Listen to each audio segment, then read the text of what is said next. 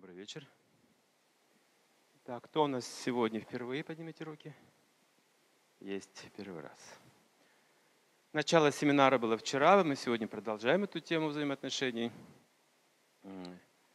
И мы рассматриваем как бы некую такую матрицу,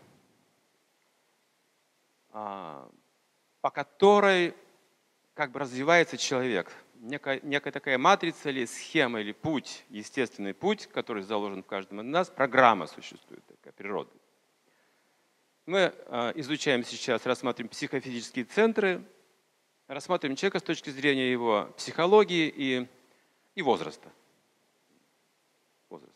каждый год жизни проживается каким-то особенным образом. Это описывается в науке чакровидия семь центров, и каждый центр мы проживаем тоже семь раз. Каждый центр проживаем через семь тех же самых центров. Получается, 49 лет мы живем по этой матрице. И в зависимости от того, как мы проживаем данный конкретный год, от этого будет зависеть наши следующие как бы, жизненные позиции, успехи, проживание или непроживание, понимание или непонимание. Как мы говорим, судьба так складывается – то есть что-то нам в жизни легко достается, что-то трудно, что-то вообще недоступно. Если человек лишен как бы э, духовного видения, то его жизнь сравнивают с бабочкой. Бабочка, ну как называют? Ночная бабочка. Она рождается уже после заката солнца, а умирает до восхода солнца. Никогда не видит солнечного света. То есть нет опыта, в принципе, такого. Поэтому есть люди, которые утверждают, что вообще этого не существует, этой сферы, не нужно вообще об этом говорить, не нужно тревожить как бы ум людей, их волю. Зачем беспокоить? Они заняты вот какой-то деятельностью, зачем вы еще какие-то вещи говорите? Вы их беспокоите. Но есть люди, которые непосредственно а, догадываются об этом, об этих высоких уровнях развития.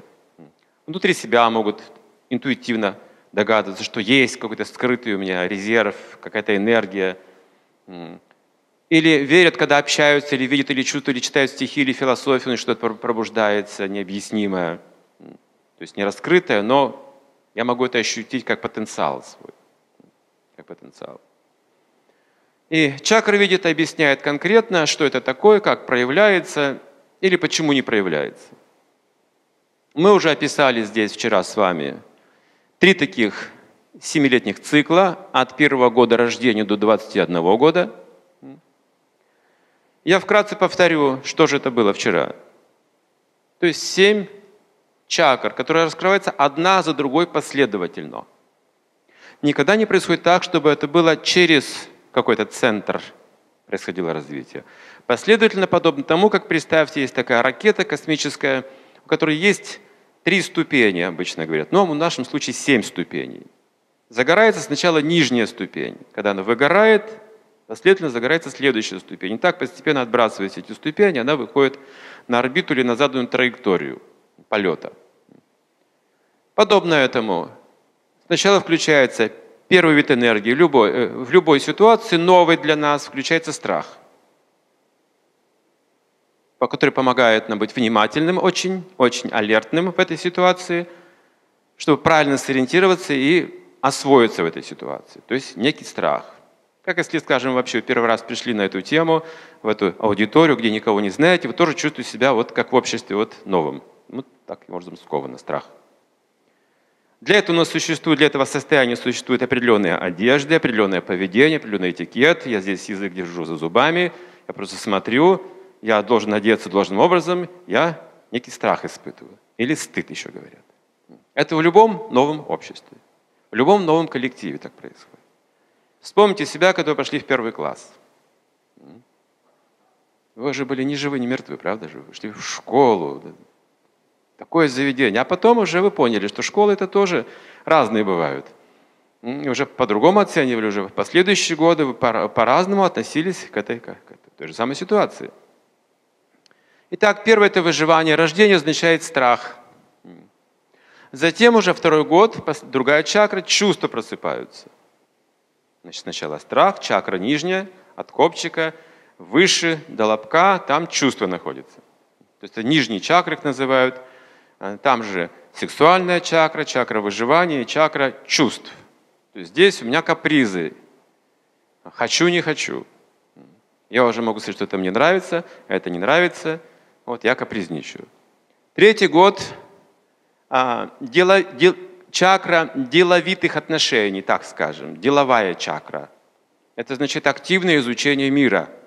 Должны разобраться, что вообще такое вокруг меня происходит, что за предметы, что за явления. Э, любознательность. И вот ребенок в три года, он очень активен в этом смысле слова. Он уже умеет ломать, разрушать, потому что ему интересно, что это вообще такое. Не сломаешь, не поймешь. Это чакра открывается познание. В четыре года гармония. Он уже может не только ломать, но и строить. Уже конструктор можно ему купить какой-то, он уже какую-то фигуру сложит. То есть он уже какие-то, какую-то гармонию начинает видеть. Интересно общается радостный ребенок в это в 4 года, позитивный, оптимистичный, то есть радость, энергия радости, гармония. Привносит радость в семью. Даже вчера мы говорили, старики, которые вот одной ногой в могиле, они всегда чувствуют радость, общаясь с такими детьми. Для них это радость, гармония. Это дети обладают таким могуществом как бы оптимизма в, этот, в эти годы. Открывается чакра – Затем, э, вслед за этим, в пять лет своей жизни ребенок начнет философствовать с вами, задавать очень странные вопросы, будете поражаться вообще. Откуда у тебя, у тебя такие вопросы? Когда-то я свою мать спрашивал, откуда я взялся. Ну, как и все мы, правда же? Мы же спросили когда-то. Обычно это лет пять. Если, если вы шли как-то медленнее по этим центрам, это может не совпадать с годами иногда. Вы можете спросить иногда это в 9 лет или в 7 лет, можно отставать немножко в развитии в силу каких-то обстоятельств, где вы не поняты и так далее. Например, рождаетесь в страхе. Что это означает? Ну, представьте, вот вы болеете, тоже страшно. Или вы останетесь одинокими, тоже страшно. Или вы должны вот-вот умереть, тоже страшно. В чем вы нуждаетесь? В поддержке, верно же? Ребенок, младенец, он полностью зависит, он нуждается в поддержке. Значит, должна быть соответствующая среда, чтобы он чувствовал себя хорошо. Он должен чувствовать, что рядом есть защита, рядом есть мама, рядом есть исполнение желаний. Тогда он, естественно, чакра, следующий чакра раскрывается в нем. Но если он не получает этой должной поддержки, он остается на этом уровне долгое время. Представьте себе. Открывается чакра чувств, страх не уходит. Что это означает? Когда дети играют вот эти деловитые или гармония, эти дети становятся агрессивными. Потому что они не реализовали, чакра страха не, не отработана. Он чувствует, что если я сам за себя не постою, меня никто не защитит. Потому что в детстве меня мать бросила, например. Или не отвечала на мои чувства. И он становится вот таким агрессивным, хотя другие чакры развиваются, но все идет как бы вот в другую сторону развития его. Это уже преступный элемент, потому что они именно руководствуются энергией страха больше всего. Как вы понимаете, они руководят другими при помощи страха. Они вызывают страх, и тогда они могут как-то вот управлять людьми. Означает, что они сами находятся в этом же точном состоянии, боятся окружающего мира. Это пример такой. И если все было нормально, то в пять лет вы спросите, пять лет уже зададите философский вопрос, а кто я и откуда? Когда я спросил свою мать об этом, я хорошо помню. Я ждал ответа, мне было очень интересно. Вопрос у меня был потрясающий. Как же я раньше не спросил об этом? Раньше я даже не думал об этом. Тут вот теперь я спрашиваю. Ну, мать улыбнулась почему-то. Странно как-то. Как-то несерьезно себя повела. Говорит, я, говорит, вообще не помню. Я говорю, как? Как ты не... А, подожди, а, а кто помнит? Говорит, да бабушка откуда-то принесла, я не знаю. Я побежал к бабушке сразу же. Странная вещь какая-то. Я не мог даже догадаться об этом. Я свою жизнь с матерью связывал, она авторитет во всем, она все знает. Конечно же, все это тут не знает. Бабушка тут замешана каким-то образом. Я говорю, бабушка, а, а куда я появился? Говорит, так, такой, ну, мамы спросили. Я говорю, так она сказала, что ты принесла откуда-то. А, да, да, да, да, да, да. На огороде нашла, где-то в капусте, вышла рано утром, и ты там лежишь, я взяла и принесла домой, матери отдала. Говорю, ну ладно, ладно. А кто меня туда положил? В капусту-то? То есть я, конечно, верил всему тому, что говорят взрослые, и так и не мог, не мог так и до конца понять, э, откуда это все произошло. Мне никто не... Просто смеялись, меня гоняли туда-сюда. Какие-то секреты, похоже, были. Но в пять лет вы уже задаете именно философские вопросы. Что это такое? Найти источник вам нужно. Это значит уже философская чакра открыта. Если вы задумываетесь об источнике жизни, о начале жизни, о начале творения, об источнике Вселенной, скажем, как вот ученые физики, Это чакра философская. Если у вас такой интерес есть, значит а, чакра открыта. И если вы не получите ответ, то вы не сможете перейти на другую платформу, скажем, чакра мудрости следующая, то есть применение этого знания. Ответа нет, жизнь бессмысленна, значит и законов, собственно, других уже высоких нет. Я живу как хочу. Это моя жизнь, источника нет, смысла нет. Понимаете, после смерти ничего нет, до моего рождения меня тоже не было. У меня только один шанс как-то наслаждаться, я опираюсь тут на свои чувства, на этот страх – на свои способность что-то организовывать и создавать тут своими силами, и я начинаю тут хаос сотворять. Просто делать то, что мне хочется. Потому что живем-то один раз, понимаете?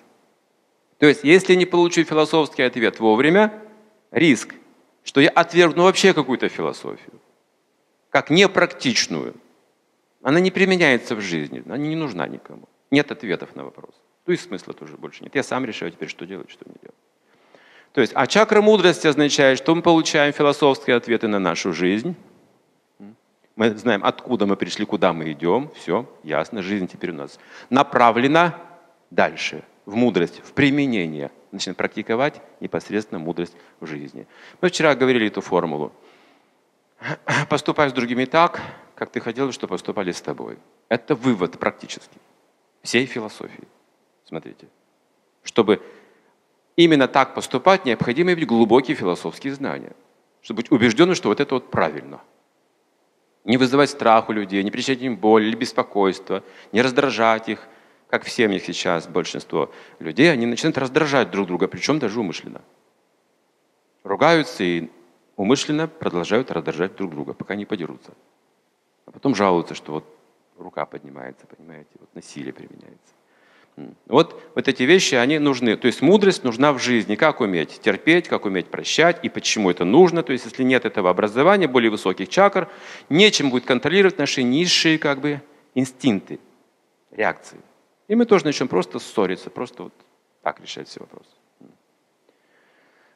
И затем эта мудрость, когда мы ее практикуем, э, седьмая чакра заканчивается духовностью.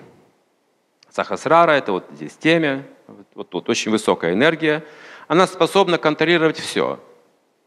Только при помощи духовной энергии можно победить все виды страхов. То есть фактически здесь бесстрашие. Лекарство от страха – вот эта чакра. Остальные как бы путь к этому бесстрашию. Духовность означает, что мы понимаем природу и качество духа. Начинается с веры, а заканчивается непосредственной реализацией этих энергий. Как говорят веды, Дух – это сад, чит, ананда. Философски он обозначается этими терминами. Сад – вечный, чит – полон знания, ананда – полон блаженства. Это философское, теоретическое определение. Так вот, когда открываются чакры, мы начинаем чувствовать это.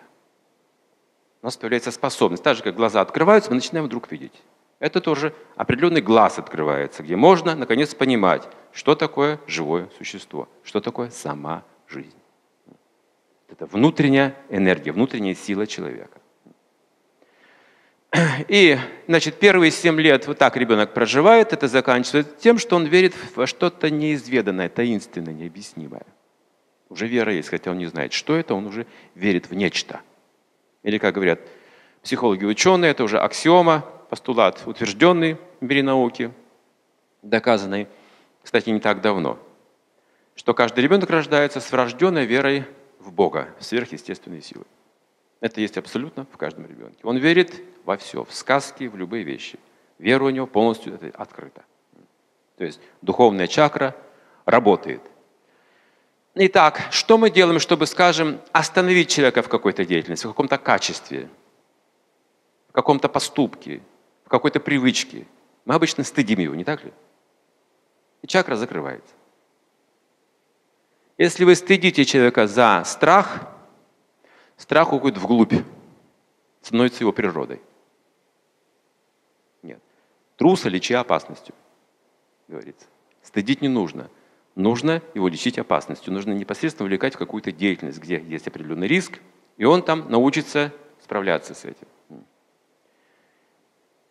Если мы стыдим человека за чувства, то он начинает прятать свои чувства, чакра захлопывается, закрывается. И за что бы человека не стыдили, мы наносим вред. Мы останавливаем его развитие. Как, например, в мою бытность людей стыдили за, за то, что мы принадлежим какому-то полу. Стыдно это было, говорить вот об этом или думать об этом.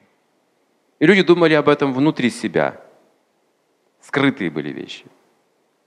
Не очень хорошие, скрытые вещи были есть в уме, там где-то потайные такие вещи. Когда люди остались наедине, они делали одно, а в обществе они поступали по-другому. Как бы вот эта вот греховность такая была внушена человеку. А нужно не греховность, а чистоту внушать человеку. То есть на эти вещи мы должны обращать внимание, стыдить не нужно, нужно просто не обращать внимания, обращать внимание на более высокие качества человека. И все. И затем он проживает следующий этап. Здесь 7, здесь 8 лет. Он проживает чакру чувств, через все другие проходит. Значит, чувства заканчивается тем, что в 14 лет он обожествляет своего партнера. То есть первую любовь он способен ощутить 9 лет, когда две чакры соединяются. Чувства и чувства встречаются, усиливаются. Примерно в 9 лет уже ребенок может ощутить очень глубокое чувство любви, влюбиться. Платоническая чистая любовь. Мы опять же говорим, цифра не точная, это может меняться. Также и в другую сторону. Например, человек может проявлять качества, в два раза превосходящие его возраст. Это означает, что вы встретили великую личность. У него идет ускоренный вариант развития. Не ежегодный, а как-то по-другому. То есть у каждого еще свой режим существует. Но в целом вот так представлена эта наука. Каждый год открывает что-то новое в человеке. Здесь просыпаются чувства, страх новых ощущений, потому что э, начинает гормональный фон меняться, в теле человека, сексуальная энергия начинает пробуждаться, и человек, чувствуя это, начинает пугаться. Что со мной? Почему так? Такого раньше не было. Как к этому относиться? Он не знает, он боится. Затем, когда на следующем этапе чувства и чувства, они усиливаются, и он влюбляется, в полную силу срабатывает эта энергия, в полную силу. Затем он начинает изучать, то есть э, э на уровне практики общаться с противоположным полом примерно лет в 10 уже проверять, что это такое вообще. В школах они уже начинают играть, там за косу дернут, смотрят, что будет из этого. Что это же за природа такая? Что такое мальчик, что такое девочка, как они вот говорят, как они реагируют. Пытаются понять, вот, изучить так, при помощи вот таких вещей. Дерутся, ругаются, визжат, что-то, ну, такие игры как начинаются у них. А на уровне гармонии в этом возрасте возникает идея дружбы. Это 11 лет. Вчера мы упоминали об этом, что примерно в эти годы ребенку нужно дать представление о дружбе ясное. Это очень важный момент в жизни подростков. Положить правильное понимание дружбы. Если мы это пропустим, очень сложно будет установить в другом возрасте. Эти вещи. Так же, как, например, до 9 лет ребенку очень трудно сказать о любви. Никогда этого не испытывал, он вас не поймет. И, но уж когда он испытал, и вы говорите, он вас будет понимать. То есть всему как бы свое время в этих отношениях. И в чакре мудрости тут дружба, здесь философия любви, он пытается понять этих отношений, а здесь верность и мораль. Верность родине, верность э, в дружбе, вот эти вещи сильно вдохновляют ребенка в этом возрасте. Его, скажем, 13 лет. А здесь он способность одухотворить, обожествить партнера. Вплоть до каких-то очень красивых изложений, поэтических стихов, или в музыке, не знаю, или в поведении. Вот эти чакры работают таким образом. А затем на третьем этапе 15 лет страх, страх любви. В чем он выражает этот страх любви? В том, что а, в 15 лет он догадывается, что если я хочу иметь близкого человека, партнера, мне нужно учиться жить самостоятельно. Вот это пугает мысль его. А самостоятельность он еще не готов, хотя чувства отношения уже строит, не готов к самостоятельной жизни, страх испытывает. А, затем эгоистическая любовь, затем в гармонии пытаются а, понять, как что, по, по, получить признание этих отношений от других.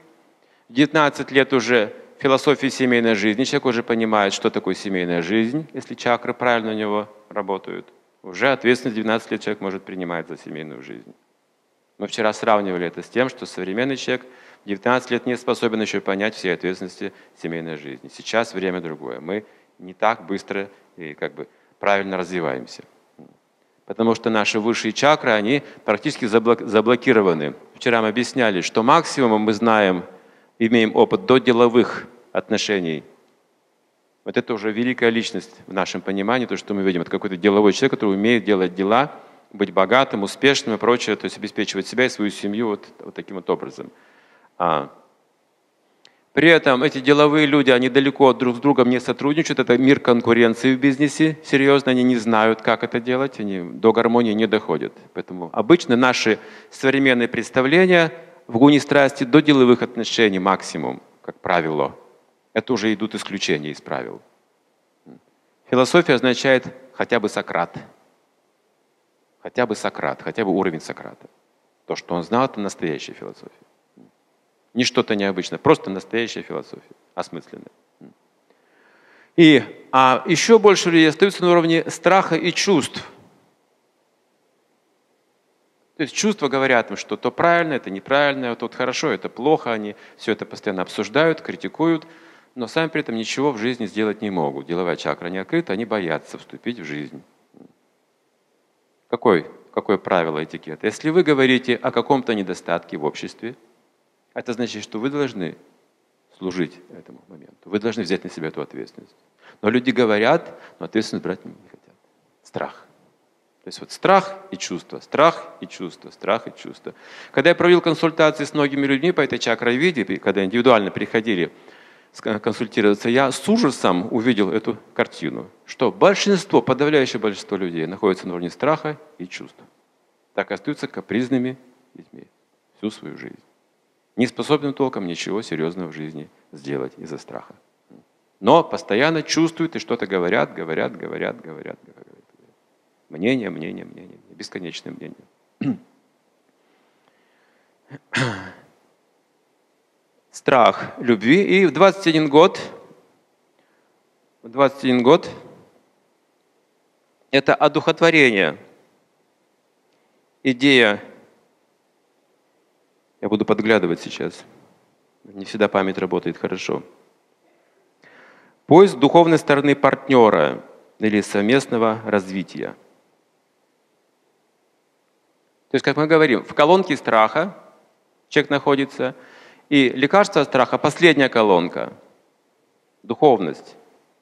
Если она закрыта, человек всегда будет находиться преимущественно в страхе не освободиться от этого состояния ума.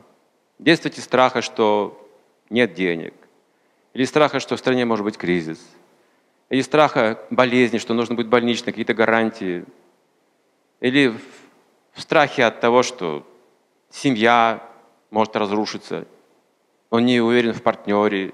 И то есть на каждом шагу он, когда думает, он начинает испытывать сомнения и страхи. Вот это жизнь человека такая.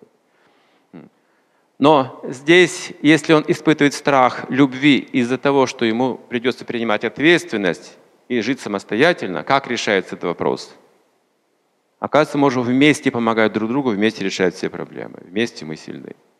Видите? В одиночестве мы слабы, вместе мы сильны.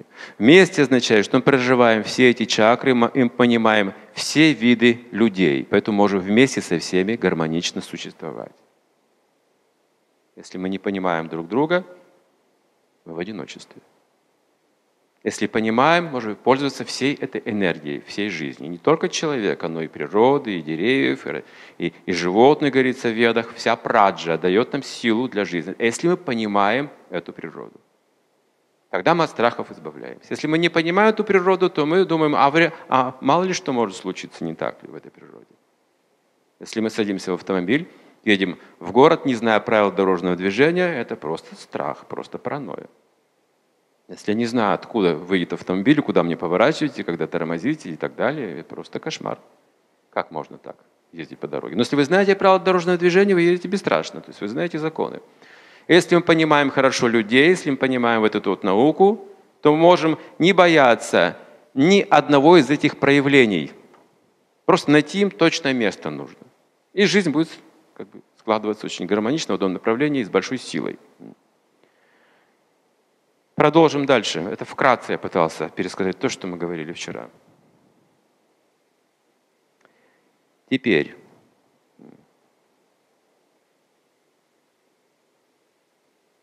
Двадцать два года. Начинается новый цикл у нас, семилетний. 22 года снова страх. Мы снова стоим в колонке страха. Страх прожить всю жизнь с одним человеком, либо остаться одному, и то, и другое страшно. 22 года. По-моему, у Чехова есть такой рассказ об одном человеке, которого пытались женить, и так и не могли. Он всегда выпрыгивал через окно в день свадьбы. А почему? Он там рассказал, наконец, наконец, почему. Я как подумаю, что нужно с ней одной всю жизнь прожить, у меня страх, я убегаю. Вот это страшно, я не знаю, как можно с одним человеком всю жизнь жить. И одному оставаться тоже страшно. И вот он метался, каждый год вы пытались жить, каждый год он хотел этого, и каждый год он избегал этой ситуации. В нашей жизни тоже много таких моментов, когда мы чего-то очень хотим, но боимся делать. Нужно, но боимся это делать. Препятствие. Итак, 22 года он уже осмысливает эту, эту вещь. Страх означает, что, ладно, нравимся друг другу, но всю жизнь жить вместе. Такая вещь сложная. Затем, как всегда, чувства нас вытаскивают из страха, как вы видите. Страшно, но когда есть чувства, мы забываем о страхе. Чувства пробуждаются, мы забываем о страхе. Например, один человек, он очень боялся Испугался шторма в океане. Ну и не мудрено, если первый раз попасть в шторм, там не только испугаться, можно умереть от страха вообще. Картина на самом деле жуткая. Когда эта стихия бушует, и он был на корабле, он ушел в плавание рыбаком. Ну и там качка, это нужно было все привыкать, симптомы очень тяжелые. И тут шторм, первый шторм в его жизни. Он был в полном ужасе, невменяемый. И тошнота, и все остальное, вот этот жуткий страх – что вот сейчас еще вот один раз на волну и вниз, и нам конец, нас накроет сверху, и мы больше никогда не всплывем. Ну, такие знаете, пятиэтажные волны, такая вот махина вот кругом, вот все качается, все проваливается, поднимается, и судно скрипит, трещит, и вот если все это слушать внимательно, страшно очень. И он схватился руками за какую-то там мачту, и, наверное, молился всем богам вообще. Больше ничего не мог делать. Через какое-то время он заметил, что вся команда чем-то занята при этом. Они туда пробегают, сюда, они там что-то делают, работает. Но стал замечать, что все работают, никто, никто вообще не обращает внимания на эту качку. И какой-то моряк наконец пнул его ногой и говорит, что ты тут вообще стоишь? Помогай, работай. Работа это продолжается, нужно работать. Он занялся работой и забыл о страхе. То есть его не стыдил никто, просто его заняли деятельностью. И он забыл, переключился, чакра переключилась. Все, как только чувства включаются – все, вы забываете про страх. Пробуждается чувство.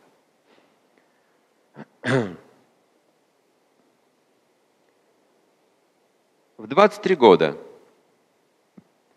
поскольку у нас чакра а, гармонии, это четвертая, и вот она четвертая здесь, чакра, это чакра гармонии.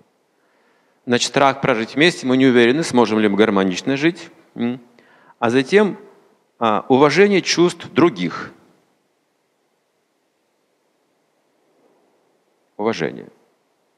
Открывается чакра чувств плюс чакра гармонии. Это выражается, ну, что есть уважение чувств других. Вот это уже начало семейных отношений, о которых мы сегодня будем говорить. В брак вступать страшно. Ну, конечно, хочется. Это торжественно все. И все это делают. И все уже в браке, у всех есть дети, мы это не жизнь такова. Но самому вступить в брак первый раз – это очень волнующая такая церемония, есть некий страх. Но если есть уважение друг к другу, страх уходит. То есть семейная жизнь начинается с уважения, чувств и потребностей, желаний другого человека. Это уже начало, начало семейных супружеских отношений. Если уважения нет, это еще не супружеские отношения, это просто привлечение двух полов, так скажем. Или, как говорят в народе, снюхались. Они снюхались, там нет какой-то основы, знаете, для брака, уважения какой-то там супружеского там, и долга осознания, но просто им нравится быть вместе, обниматься и лежать и так далее. Ну, то есть снюхались и поженились. Поэтому здесь уважение. Уважение – это слово, славянский корень имеет увага. Увага означает внимание. Уважение – не что иное, как внимание к партнеру. Полное внимание. Близкое человека нужно быть к нему очень внимательным. Они друг другу внимательны. С этого начинаются их супружеские отношения как таковые. Это уже брак. И чтобы это было, необходимо дать обеты. То есть брак освящается, это храм или церковь или мечеть. Священники вас спросят, если вы пойдете в церковь. Обещаете? Всю жизнь с этим человеком жить, помогать, защищать, выполнять свой долг? Да. Вы обещаете? Да. Даете обеты. Эти обеты помогают нам помнить, что мы должны делать в браке. Почему? Чтобы, потому что чувства будут очень сильны. Чувства будут очень сильны. Поэтому, чтобы говорить о долге, нужно дать обеты, вспоминать их, чтобы подняться на более высокую чакру. Нельзя оставаться на уровне чувств а, всю жизнь. Чувства имеют природу привлечения, а потом отвержения – когда приятно, они привлекаются, притягивают. Когда присыщаются, становятся уже обычным или неприятным, отвергают. Поэтому есть браки, разводы. Браки, разводы. Значит, чувства работают таким образом. Значит, пища нравится, мы едим, но желудок полный, не хочу. Все это я выбрасываю, остатки пищи. Не нужно больше. Если этот принцип приложить к семье, он неприменим. Вот каким-то высшим более понятиям, как долг, там, ответственность, неприменимо.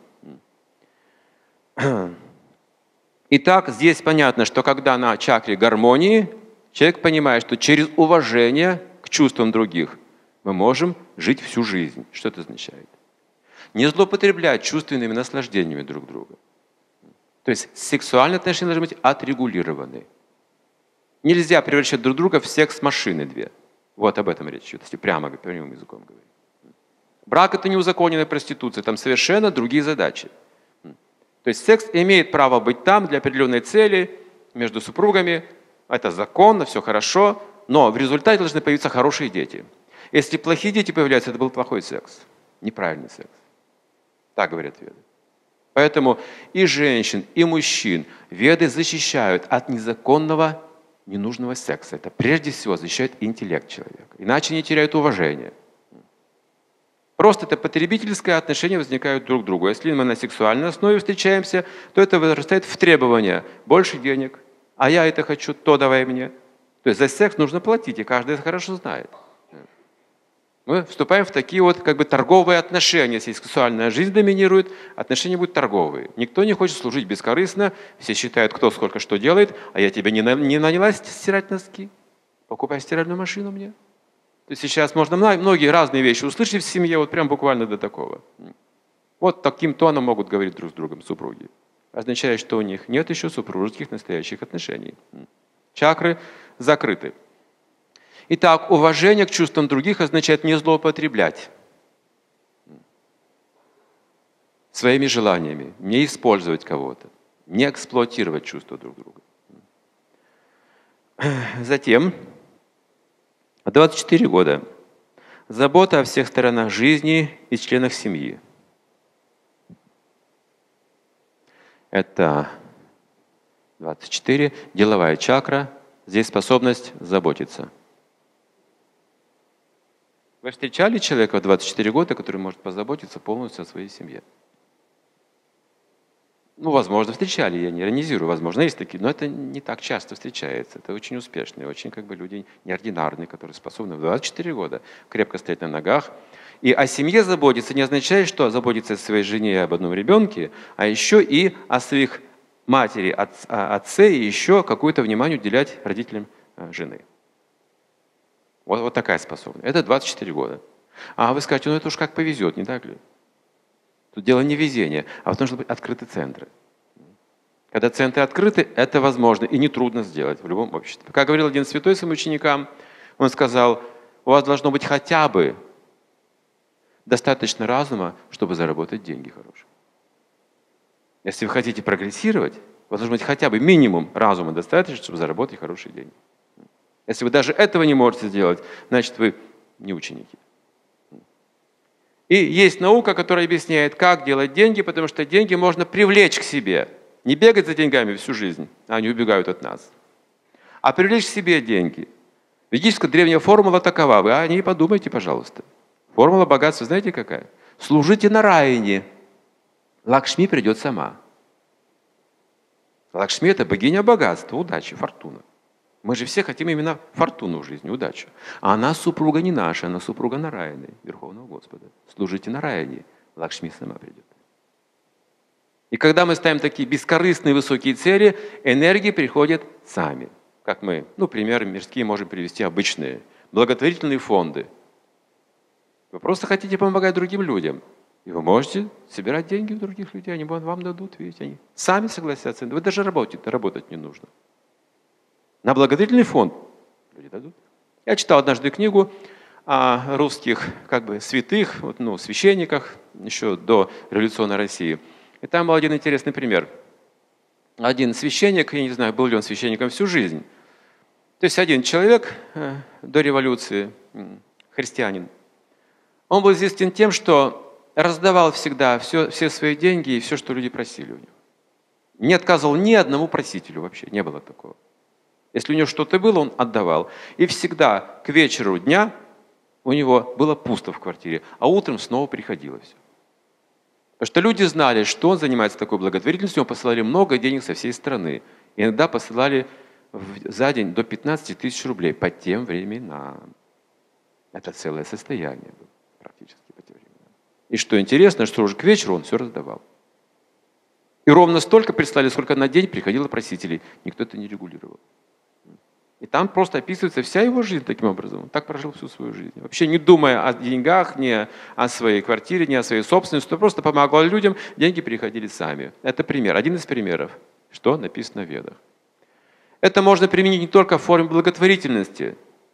Это нужно, можно принцип применить где угодно, и в семье, и на работе. Можно работать, можно не собирать пожертвования. Но в служении Богу к вам будут приходить лучшие предложения.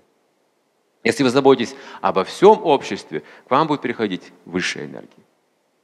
Один человек жаловался мне в Сибири. Он министр в какой-то области. Жаловался в том, что он всю жизнь работал в Казахстане, а во время перестройки вынужден был покинуть Казахстан. Ну, потому что он русский, ну, то есть какие-то были такие вот причины политические или какие-то еще. Он не мог там оставаться, потерял положение. И как русский человек должен был вернуться в Россию – а в России он не жил никогда, он прожил всю жизнь в Казахстане. И представьте, он оказался в Сибири, потеряв высокий пост министра, за этим большие усилия были, целая жизнь, и остался ни с чем. И жаловался мне об этом. Почему? Говорит, у меня такая судьба, скажите. Вот вы понимаете законы судьбы? Почему с вами такое произошло? А я его спрашиваю, а сейчас вы кто? Говорит, министр. Так на что же, говорю, вы жалуетесь? Видите? У вас есть качество министра. Куда вы не приедете, вы станете министром. У вас открыты чакры, центры, они работают. Необходимая энергия у вас просто есть при себе, вы ее с собой носите. И куда бы вы ни пришли, вас все равно назначат министром. Так как если вы врач, вы везде врач. Хоть в Африку поедете, все равно вы врач. Больны к вам обратятся. Лев, кто его назначает на царство в лесу, скажите? Кто дает ему документы вообще выписывает? Как это вообще происходит? Его природа это утверждает. Это тоже умонастроение и психофизическая природа устанавливает. И так, когда у человека работают все эти центры необходимые, он может позаботиться в 24 года обо всей своей семье легко. Не думайте, что какая-то удача или неудача, или образование, необразование. Большинство греческих философов, самых известных, были самоучками, у них не было никакого образования. Они просто могли мыслить. Вот и все. У них просто была открыта чакра эта философская. А другие, имеющие образование, они, они сейчас никто не знает. Вообще никто не знает. В 25 лет устроенность жизни практически полная. Здесь, видите, совпадает гармония с гармонией. Видите, тут вот эти чакры совпадают. Здесь деловитость совпадает, здесь чувства совпадают, здесь совпадает у нас гармония. 25 лет вы даже не думаете уже о поддержании своей семьи, пройденный этап. Не нужно об этом всю жизнь думать. Если вы добиваетесь случайно какого-то успеха в жизни, то вы будете думать, как не потерять, не так ли? Вы еще больше будете беспокоиться, если случайно добились этого. Если вы добились согласно вот своим развитым качествам, вы уже не беспокоитесь, это пройденный этап. Так же, как если вы женились, больше беспокоиться не нужно о браке. Не так ли? Почему люди всю жизнь беспокоятся о личной жизни, хотя они уже замужем или женаты? А потому что это вопрос как бы случая их отношения. Там нет какой-то научной основы крепкой, на которую вот надежно можно положиться и забыть вообще про это. Все, есть жена, и больше никто не нужен. А вдруг я влюблюсь еще раз? Ведь я своего мужа вот так уж уж сильно, так уж и не люблю уже. Или свою жену. Я, конечно, женился, вышла замуж, но такой любви, как у Ромео и Джульетты, вот не было. Вдруг появится такая любовь, я же не знаю, что буду делать. И люди, они думают таким образом, потому что они смотрят кино какое-то там, стимуляторы какие-то воспринимают. И у них все эти сомнения, все они живут с сомнениями постоянно. Что базы, основы не существует, это традиции и прочее. Я вспоминаю пример духовного учителя. Это также мой духовный учитель. В 70 лет он принял саньясу и стал проповедовать по всему миру. В 70 лет человек. 14 раз объездил всю планету. А когда он родился, пришел астролог. В Индии это было, в Калькутте. Это традиция. Ребенок рождается, приглашает астролога. Но, во всяком, все, все порядочные люди, интеллигентные, так делают в Индии. Обязательно нужен астролог, чтобы узнать, кто это пришел, чтобы как его воспитывать и все такое. И на следующий день пришел астролог, рассмотрел карту, говорит, я, подождите, еще раз пересмотрю, что-то странное. Еще раз, говорите, еще раз, что-то странное. Что же там такое? Ну тут в карте, я не знаю, он примет саньясу, отречение. И в то же время будет очень богат. Я не знаю, как это понимать. Саньяси, он же не должен иметь деньги вообще. Но тут, тут две вещи у него стоят. И полное отречение, и огромное богатство. То есть он будет проповедником очень известным. Какие-то движения, может, возглавит, что-то такое. Это было известно с рождения уже этого человека. И отец уже знал, как его воспитывать. Он знал, как его учить медитации, как владеть инструментами необходимыми, мантрами, поклонениями и так далее. Откуда человек духовную силу берет, он его уже обучал с детства. Только поклоняясь высшим силам, можно обрести эти высшие силы. Другого пути нет. Вы не можете это украсть или отобрать, или завоевать их у высших сил. Это невозможно. Может быть, здесь на, на земле люди сражаются за это, но, но с высшими силами это невозможно. Только один путь – почтение, поклонение, служение. Добрые дела. И так человек обретает вот эти способности, ситхи, глубинные внутренние. И отец его воспитывал таким образом, пока не наступило время брачное. Юноша подрос, пора жениться. И в это время он влюбился, этот молодой человек, в одну очень красивую девушку, индуску. Отец позвал и сказал, дорогой мой сын, у меня к тебе есть серьезный разговор. Понимаешь, у тебя будущее. У тебя будущее саньяси. Ты отречешься в преклонные годы, по гороскопу судьба такая, и будешь проповедовать по всему миру. Но если ты женишься на этой девушке, ты к ней так привяжешься, тебе будет трудно принять саньясу. И трудно проповедовать, уже о ней вспоминать потом. Потому что ты очень ее любишь, так не привяжешься. А вот это, смотри, на тебе совсем не нравится. А если на ней женишься, и будет тебе легко принять саньясу и проповедовать, исполнить свой долг. Как вы думаете, что принял молодой человек? Второй вариант принял. Да. И всю жизнь благодарил за это отца. В жизни такого мы очень редко можем увидеть. Вот такую силу, такую внутреннюю мощь. То есть у него были какие-то еще открытые центры, более высокие, он смог это проконтролировать как бы. Более высшие энергии были, по которой поглотили вот эту просто привязанность такую чувственную. Итак, в 25 лет уже он испытывает первую скуку в своей жизни. Что делать дальше? Все гармонично, все хорошо, все, куда он не пытается что-то делать, все получается, все знает человек уже в этом плане мирском, материальном. Он уже начинает скучать. Однако следующая чакра открывается у него. И в 26 лет он думает о призвании и смысле жизни. Вот у меня это все есть. Есть семья, есть деньги, есть работа, есть здоровье, есть разум. Зачем все это? Как это связать со смыслом жизни. В чем же мое призвание, мой, моя миссия какая-то есть у меня что-то? Я же уже устроен, что дальше-то делать? Если эта чакра не раскрывается, философское призвание, нет такого призвания, нет такого ответа, человек начинает просто использовать тот ресурс материальный, который он имеет. Начинает покупать какое-то счастье, продавать какое-то счастье, принимать алкоголь или наркотики, искать какие-то таких средств. Как жить дальше с этим? Ну все же есть, что теперь делать? Скучно. Начинаются всевозможные извращенные варианты.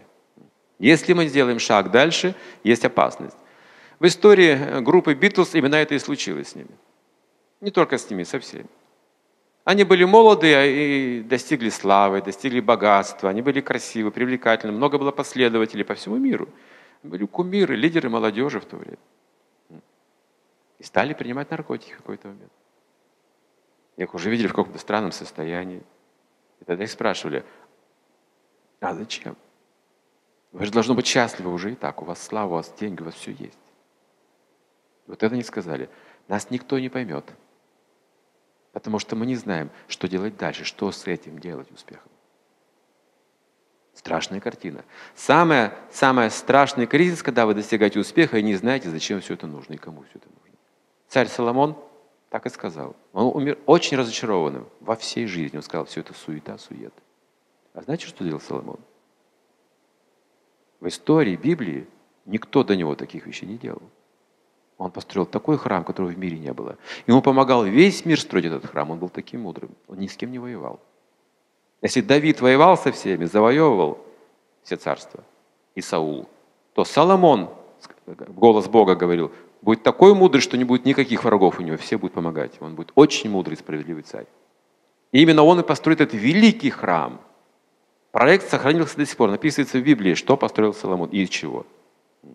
Даже кедр сибирский использовался там. Можете представить? Дерево привозили. Храм был разрушен потом до основания. Но проект прекрасно описывается в Библии. Можно представить, какой он соорудил вообще сооружение на все века, на тысячелетия он планировал. А в конце жизни он сказал, все это суета-сует, бессмыслица. Почему? Когда вы делаете что-то великое, достигаете, вы не знаете, кому это все потом передать. Если это слишком великая вещь, никто даже не поймет, что вы сделали. Они даже не поймут, что вы сделали. Они просто будут этим пользоваться, и все. Даже не поймут, никакой неблагодарности, никакого ответа. Поэтому Соломон сказал, суета, сует, бессмыслица все это. Если вы живете как обычные люди, это одно. Но когда вы великие вещи делаете, это никому не нужно, нет никакой связи. Вы не знаете, зачем вы это сделали вообще. Нужно ли это вообще было делать? Суета, сует. И также здесь 25 лет, если человек не а, понимает свое призвание, как использовать этот арсенал, этот потенциал накопленный, своей способности, он опустится в депрессию. Но здесь он начинает размышлять о призвании своем, о предназначении. Затем 27. Становление философии отца и матери. 27. Философия отца и матери.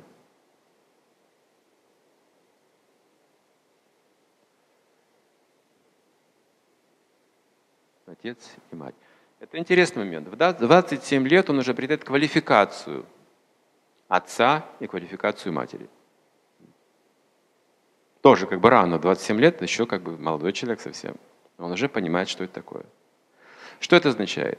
Это означает, что 27 лет мужчина и женщина, женатые, замужние, имеющие детей, уже не привлекают никого сексуальной энергией.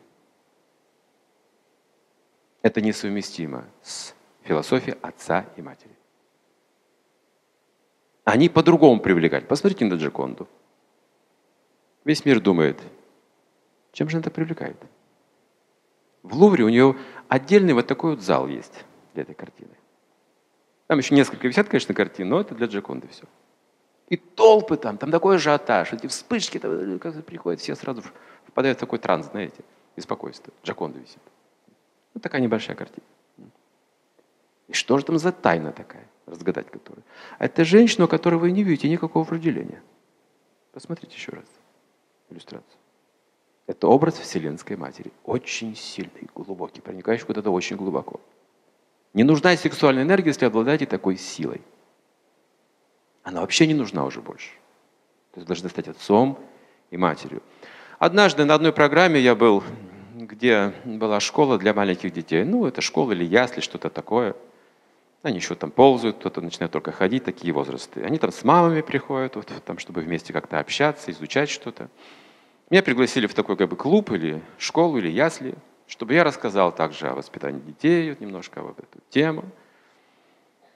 Я что-то рассказал, и одна женщина, это было лето, тепло, они были все там в каких-то халатиках, знаете, какие-то вот такие вот женщины были, такие, разные-разные, все с детьми одновременно. И одна женщина спросила, у нее был ребенок на руках, как э, можно воспитать хорошего сына, ей интересовало. Ну, это всех интересует. Как же воспитать хорошего человека? Я не очень как бы корректно повел себя, э, но они поняли. Я спросил их всех, вы красивы? Ну, молодые женщины там были, знаете, они все были очень красивые, молодые. Я их задал им вопрос, вы красивы? Они все смутились. Я сам думал, а что я вообще спрашиваю такое, о чем я говорю? Я говорю, вы все красивы, но ваша красота сексуальна. Так вы не воспитаете хорошего сына. Никогда. Сексуальной энергией вы не сделаете великого человека, мужчину. Вы его расслабите. Вы его воспитаете похотливо. То есть мать – эталон чистоты. 27 лет вы должны быть уже таким эталоном чистоты. Конечно, это трудно представить сейчас при нашей культуре и воспитании, когда бабушка делает пластическую операцию или принимает какие-то гормоны, омолаживается, еще замуж может выйти несколько раз или любовника завести. То есть это культурно столкает вот почему-то вот к этой деятельности. Но тут важно становление философии отца и матери. Почему? Потому что следующий идет момент. 28 лет. Желание воспитывать возвышенных детей и оставить след в обществе. Вот они, начинаются династии отсюда. Осознание династии. Духовная чакра открывается. Семья и духовность означает династия, преемственность. Почитай отца и мать своих, это говорит Библия. А что это такое? А зачем вообще? А потому что они тебе дадут духовное знание. Не, не почитай, ты не можешь получить духовное образование. Духовное образование мы не можем получить, просто записывая информацию и какую-то схему изображать, которую можно в уме как-то логически уложить. Это не духовное образование. Это более-менее академическая, обычная как бы, ну, компоновка информации – упорядоченность информации, можно так сказать, чтобы мы могли пользоваться этим всем. Когда все в схеме, можем вспомнить так, то, то, какие связи и пользоваться этим всем. Такой небольшой компьютер в голове. Здесь другое. Духовное образование. Смотрите, когда вы читаете книгу, вы получаете ту же самую информацию. А Веда говорит, не так нужно делать. Теперь найди духовного учителя и получи от него наставления. Какие? Которые написаны в этой книге. Зачем же? Я же могу прочитать все. Скажите. Зачем же мне еще получать от кого-то это, если я могу просто книгу раскрыть и прочитать? То же самое. Странно это все? Нет, не странно. Когда вы читаете, получаете объем информации, вы получаете с этим вместе и чувство гордости. Как обладатель знания. Но когда вы получаете это же знание в форме наставлений, гордость не развивается. Вот это называется духовное образование. Вы остаетесь смиренным и простым человеком, обладая великим интеллектом при этом. Вот это сочетание простоты и величия – это и есть истина. То есть мы все очень маленькие, незначительные, но мы все слуги Бога. Это очень великая позиция. Мы не просто слуги государства, мы слуги Бога. Это очень высокая позиция. Когда человек это совмещается, вот это и есть его сила настоящая. Сила в его простоте и скромности, в то же время великих знаниях глубоких, большой любви. Гордый человек не может обрести большую любовь. Итак, здесь 28 лет человек задумывается о том, что же он оставит после себя.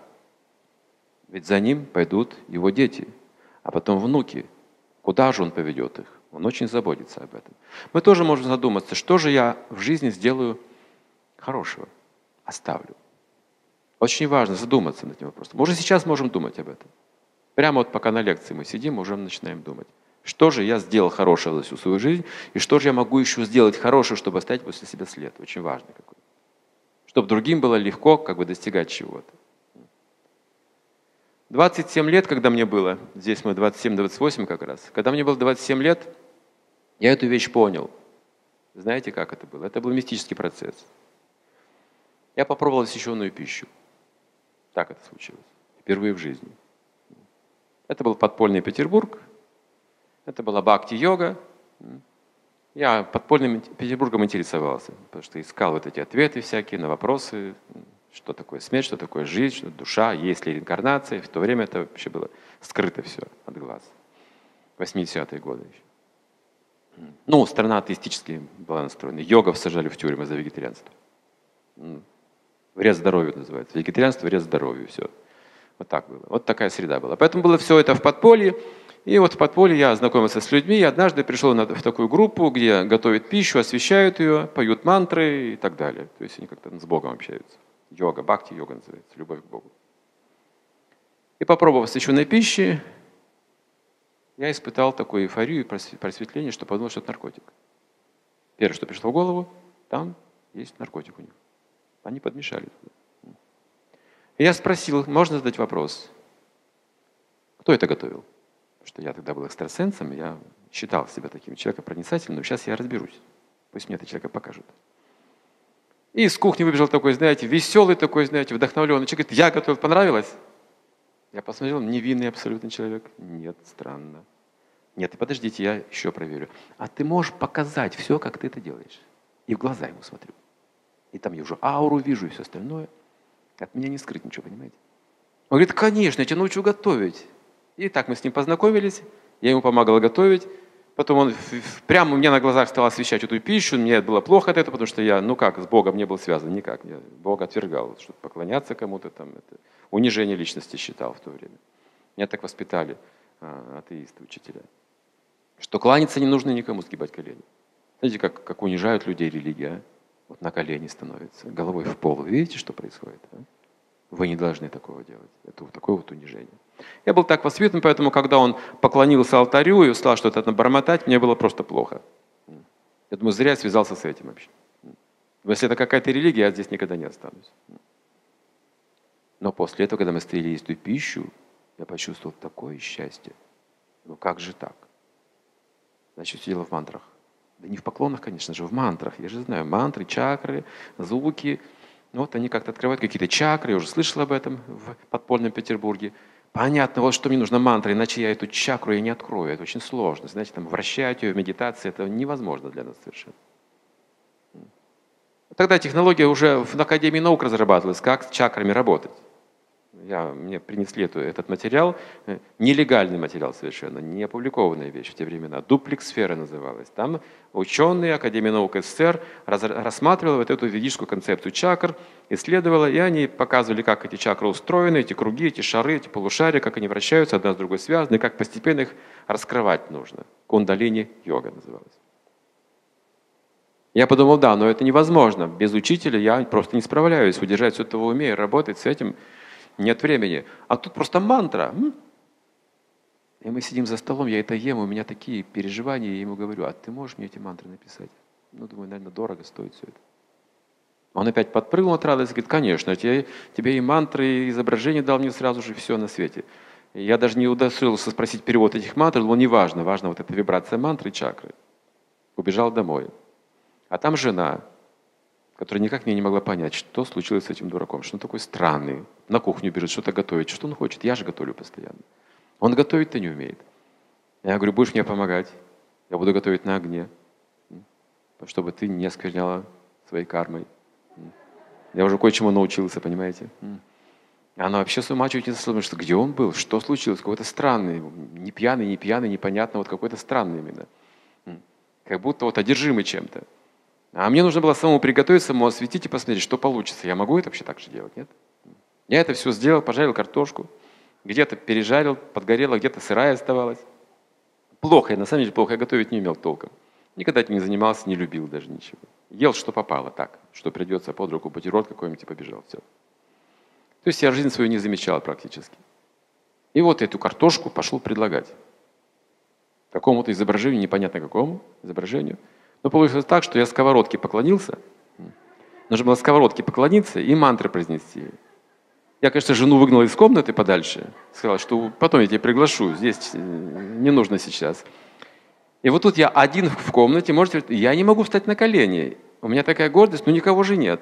Я себе, знаете, что внушил? Я занимался гимнастикой. Я сказал, ну просто сгруппируйся, это называется. Это не поклон, сгруппировался, ну все. Ну, я сгруппироваться могу, хорошо, кланяться не буду. Сгруппируюсь перед картошкой, сгруппировался, вот, и стал произносить мантры, а сам думаю, ну и дурак же, вот как это все выглядит вообще, вот странно, да, вот какая-то сковородка с картошкой, человек вот сгруппировался и там что-то бормочет кому-то. Я таким идиотом никогда не чувствовал. Вот. Но я произнес все-таки эти мантры по листочку, без всякого смысла, и почувствовал себя так плохо-плохо, униженным, оскорбленным, ну, ну все, ну, раздетым полностью, при всех. Взял эту сковородку, жена говорит, заходи, все, хватит, концерт окончен, давай есть. И мы с этой же сковородки начали есть, там у нас вилки, ну, как обычно люди это все делают. Там же готовят, там же едят, туда же и сваливают все и так далее. Такая же культура у всех была. И я ем эту картошку, где-то сырая, где-то вот подгорела, где-то плохо перемешанная соль и так далее. Сухая, масла мало было. Ну, все плохо по всем статьям. И тут у меня вдруг изнутри сердца такой нежный голос. Нежный-нежный голос. Значит, трудно отказаться от него. И говорит, ты плохо пожарил картошку. Но поскольку он нежный, то я слушаю его. Но то, что он говорит, мне не нравится. Я говорю, ну и что? Но это еще не значит, что я ну, вот, что-то не умею или прочее. У меня гордость же есть, понимаете? Что это? Ну что так? Что, что с этого? И вот ем демонстративно плохо, но есть можно, все нормально. И так зло ем картошку. Потом снова это чувство, такое нежное, теплое, и снова голос. Ты плохо пожарил картошку. Ну что, есть что ли нельзя? Есть же можно, а вот жена ест, и я ем. Я с ним начну разговаривать, я, я даже не понимаю, что происходит только. Даже не удивляюсь. И вот когда третий раз это произошло, вот тут перевернуло все. Голос сказал, ты вообще в жизни ничего хорошего еще не сделал. 27 лет. Я вдруг осознал эту мысль впервые в жизни, что я ничего в жизни хорошего не сделал вообще и не собирался даже делать. Планов таких не было. Только думал о своей карьере, о своем будущем, о себе, как жить, как то, как заработать, как планы только личные строил. Ничего не планировал что-то сделать, какой-то след оставить. Вот сейчас не было такого. Но здесь, говорится, в 28 лет человек уже знает, но уже может быть основателем династии.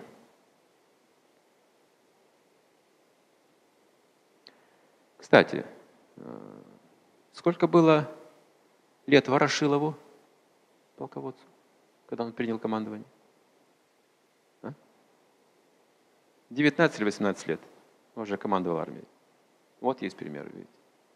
Что люди могут быть зрелыми в какие-то годы, уже с проявленным характером, силой долга, разума. То есть есть такие примеры в истории, великие люди. Но я в 27 лет понятия не имел, для чего живу еще. И затем начинается новый цикл. Если у нас была гармония, здесь начинается философия. Мы продолжим, но сейчас я пока еще хочу остановиться на семейных отношениях. Когда мы говорим о семье, мы чаще всего подразумеваем мужчину и женщину. Не так ли? В основе два противоположных пола. Но это не семья еще. Нет. Семья подразумевает любовь, доверие и забота. Просто заботиться друг о друге, как о двух взрослых человек, сентиментально. Там дети это все как бы дополняют, семью делают. Вот тут нужна забота, вы там необходим. Если просто нужны друг другу для секса и каких-то вот эмоциональных вещей, этого недостаточно, чтобы называться семьей. Еще. Если у вас нет своих детей, вы должны все равно о ком-то заботиться, иначе это не семья. Ашрам семьи так и называется. А, он заботится еще о ком-то. Прежде чем поесть свой обед, он выходит на улицу и громко провозглашает, пища готова, кто голоден, заходи в дом, будь гостем. Каждый день он это делает. В ведах написано так, что семейный человек именно так живет всю свою жизнь. Он должен заботиться об окружающих людях. Кто-то может быть голоден, кто-то болен, кому-то нужна благотворительная помощь. Это забота семейных людей. Это их аскеза, это их очищает от эгоизма, жадности, зависти в собственном доме. То есть необходимо очистительные какие-то действия. И это означает забота. Если нет детей, кормите кого-то. Приглашайте гостей, заботьтесь о других людях, которым нужна помощь. благотворительностью занимать, иначе это не семья. И так он провозглашает, пожалуйста, в дом заходи, будь гостем. И известно, что если первый раз кого-то пригласите незнакомого, он сразу не согласится, верно же? Ну, неудобно же. Вот сразу, «Э, а, хорошо, я пойду поем. Да? Не знаю ничего. Тогда должны повторить второй раз, пожалуйста, пожалуйста, будьте гостем, не смущайтесь. Будьте как дома. Ну, осветите мое, мое жилище. Заходите. И даже второй раз человек еще нерешительно настроен. Третий раз сказать нужно еще. Трижды должны это провозгласить. Потом пригласить гостя, накормить его и только потом сесть за стол. Не вместе с ним. Сначала накормить его собственными руками. А потом сесть за стол, когда он удовлетворенно ушел. Вот тогда вы почувствуете, что вы развиваетесь. Это называется семья. Семья – это развитие. Не, семья не означает, что просто у вас есть свой сейф, свои какие-то там кладовые, счет в банке, вы это постоянно накапливаете, накапливаете, накапливаете, мечтаете о каком-то потом отдыхе бесконечном. Это не семья. Это не ячейка государства. Это монополия какая-то конкурирующая с другими монополиями семейными. То есть в ведах описывается все это по-другому. И откуда это желание именно жить для себя, чувство? Противоположный пол означает чувство и привязанность, вожделение. И это вожделение говорит нашему разуму, теперь нужен дом, свои деньги, свое хозяйство, своя работа, потому что мы хотим быть вместе. Вот эта идея быть вместе возникает из сексуального привлечения – жить в одном доме, в одной квартире и так далее. Сексуальная связь. А дети, когда рождаются, они очищают родителей от сексуальных отношений, потому что к детям вы не испытываете сексуальных чувств. И они требуют полного внимания. Это естественная медитация, это ваш ребенок, и вы будете о нем думать постоянно, но никакого секса при этом, никаких сексуальных чувств. То есть дети чисты, они требуют совершенно других отношений. И чем больше детей у семейного человека, тем считается он более благочестив. То есть большая семья прославляется человеческая. Мать героини называется. Просто много детей, она все, она уже герой, это женщина. Высокого уровня, если она такая мать ответственная. То есть это в ведах поощряется. Сейчас мы в силу обстоятельств каких-то экономических и других не можем иметь большие семьи, по 15 детей, допустим, или 12, или 10, или 9, или 8, или 5 хотя бы. Редко. Ну, максимум 2-3 ребенка, я думаю, не знаю, как вот в Латвии, в России маленькие семьи. Ну, трое максимум. Четверо – это тоже редкость. Четверо детей. Обычно один, два, вот, ну, хватит, все, все, все. Не так уж много денег у нас возможность. Я вам рассказывал, как меня пригласили на радио в Алмате однажды. Программа была, называлась «Аборты», я не знал об этом. Мне позвонили со студии, пригласили, я срочно нужно было приехать, я согласился, поехал, и уже сразу попал в эфир – вовремя одел наушники, говорю, тема-то какая? Он говорит, аборты. Я думаю, ну да, вот я попал. У меня же такая, знаете, точка зрения очень крайняя. Что сейчас будет, не знаю. И было, знаете что, был просто, просто невероятный эксцесс случился в городе с, с этой передачей, когда я стал говорить, что такое аборт языком вет, что это убийство и прочее, есть карма, есть за это наказание. И телефон взорвался. Передача планировалась на 20 минут, на 20 минут мы просидели полтора часа. Меня хотели размазать по стенке просто. Кто не звонил, все были против меня. Он не понимает, что сейчас экономические обстоятельства сложные. Если женщина одна и мужа нет, невозможно воспитывать одного ребенка и работать и то, и другое. Они все жаловались на эти обстоятельства и говорили, что это непрактично то, что он говорит. Мы современные люди, почему мы не можем так сделать? Потому что это значит просто убить себя, убить свою жизнь, вот так вот остаться одной с ребенком, без поддержки, без никого. И продолжалось, продолжалось, продолжалось. Потом одна женщина позвонила и сказала, слушайте, а вот давайте его спросим. Он вообще семейный человек или нет? Я говорю, семейный. Дети есть? Говорю, да, одна дочь. Ну и как вы решаете эти проблемы в вашей семье? Я говорю, а у нас целебат с женой. Ну, то есть обед безбрачия дали. Сказали, ну а кто вообще пригласил этого человека сюда в студию? Да он же фанатик просто. А теперь понятно, что он тут говорит вообще. Вообще не нужно таких людей приглашать в студию. Давайте нормального человека пригласим, поговорим об этой теме. И когда, когда я сказал о том, что у нас целебат с женой, ко мне сильно изменилось отношение ведущей вдруг. Она почувствовала ко мне какое-то глубокое сострадание. так стала смотреть на меня, знаете, как я сразу почувствовал сильную перемену в ее отношении ко мне. И как бы стала принимать мою сторону вдруг, как-то вот сочувствие какое-то. Вот тут начался меняться что-то в передаче. А звонки продолжались в том же русле, меня все обвиняли, критиковали, все это отрицали. Были очень раздражены, причем злые. Ну, тогда был экономический кризис был еще серьезный. И, наконец, последний звонок. А я уже сижу, просто молюсь всем богам. Завалил передачу, в общем. И последний звонок, женщина говорит, вот я тоже не согласна с вашим гостем. Вот у меня дочь, и муж сразу меня бросил, еще беременной, когда только вот мы зачали ребенка. И я думаю, что нужно было сделать аборт, потому что моя жизнь была крайне трудной. Я согласна со всеми этими женщинами, которые только что вот звонили, говорили, это на самом деле очень было трудно. Невероятно трудно жизнь мне была. А ведущая спрашивает, а сколько вашей дочери сейчас лет? Говорит, 21 год. А вы любите свою дочь? Конечно. А вы не жалеете, что не сделали аборт? Он говорит, нет. И ведущий говорит, я снимаю перед вами шляпу. И все звонки сразу закончились. Все. Все, люди стали понимать, что это боль. Открылась какая-то чакра вдруг. Оп. Вы думаете, ой, на самом деле, есть что-то более высокое. Такое как происходит. И а, в семейных отношениях необходим духовный рост, необходимо даже философское воспитание, необходима мудрость. Обычно мы все ожидаем это от старших, потому что духовность богат, человек опытом именно. Мудрость, если он практикует мудрость, он богат и духовным опытом. Ну а если он не практиковал никогда мудрость, и он старший, и он говорит, что этого ничего не существует, Бога, допустим, нет, души нет, что с вами происходит? рушится ашрам, рушится духовный уклад жизни. Не просто семья. Сначала рушится духовный уклад, а потом уже рушится семья. Прежде чем разрушить семью, нужно разрушить ее традиции, основы глубинные.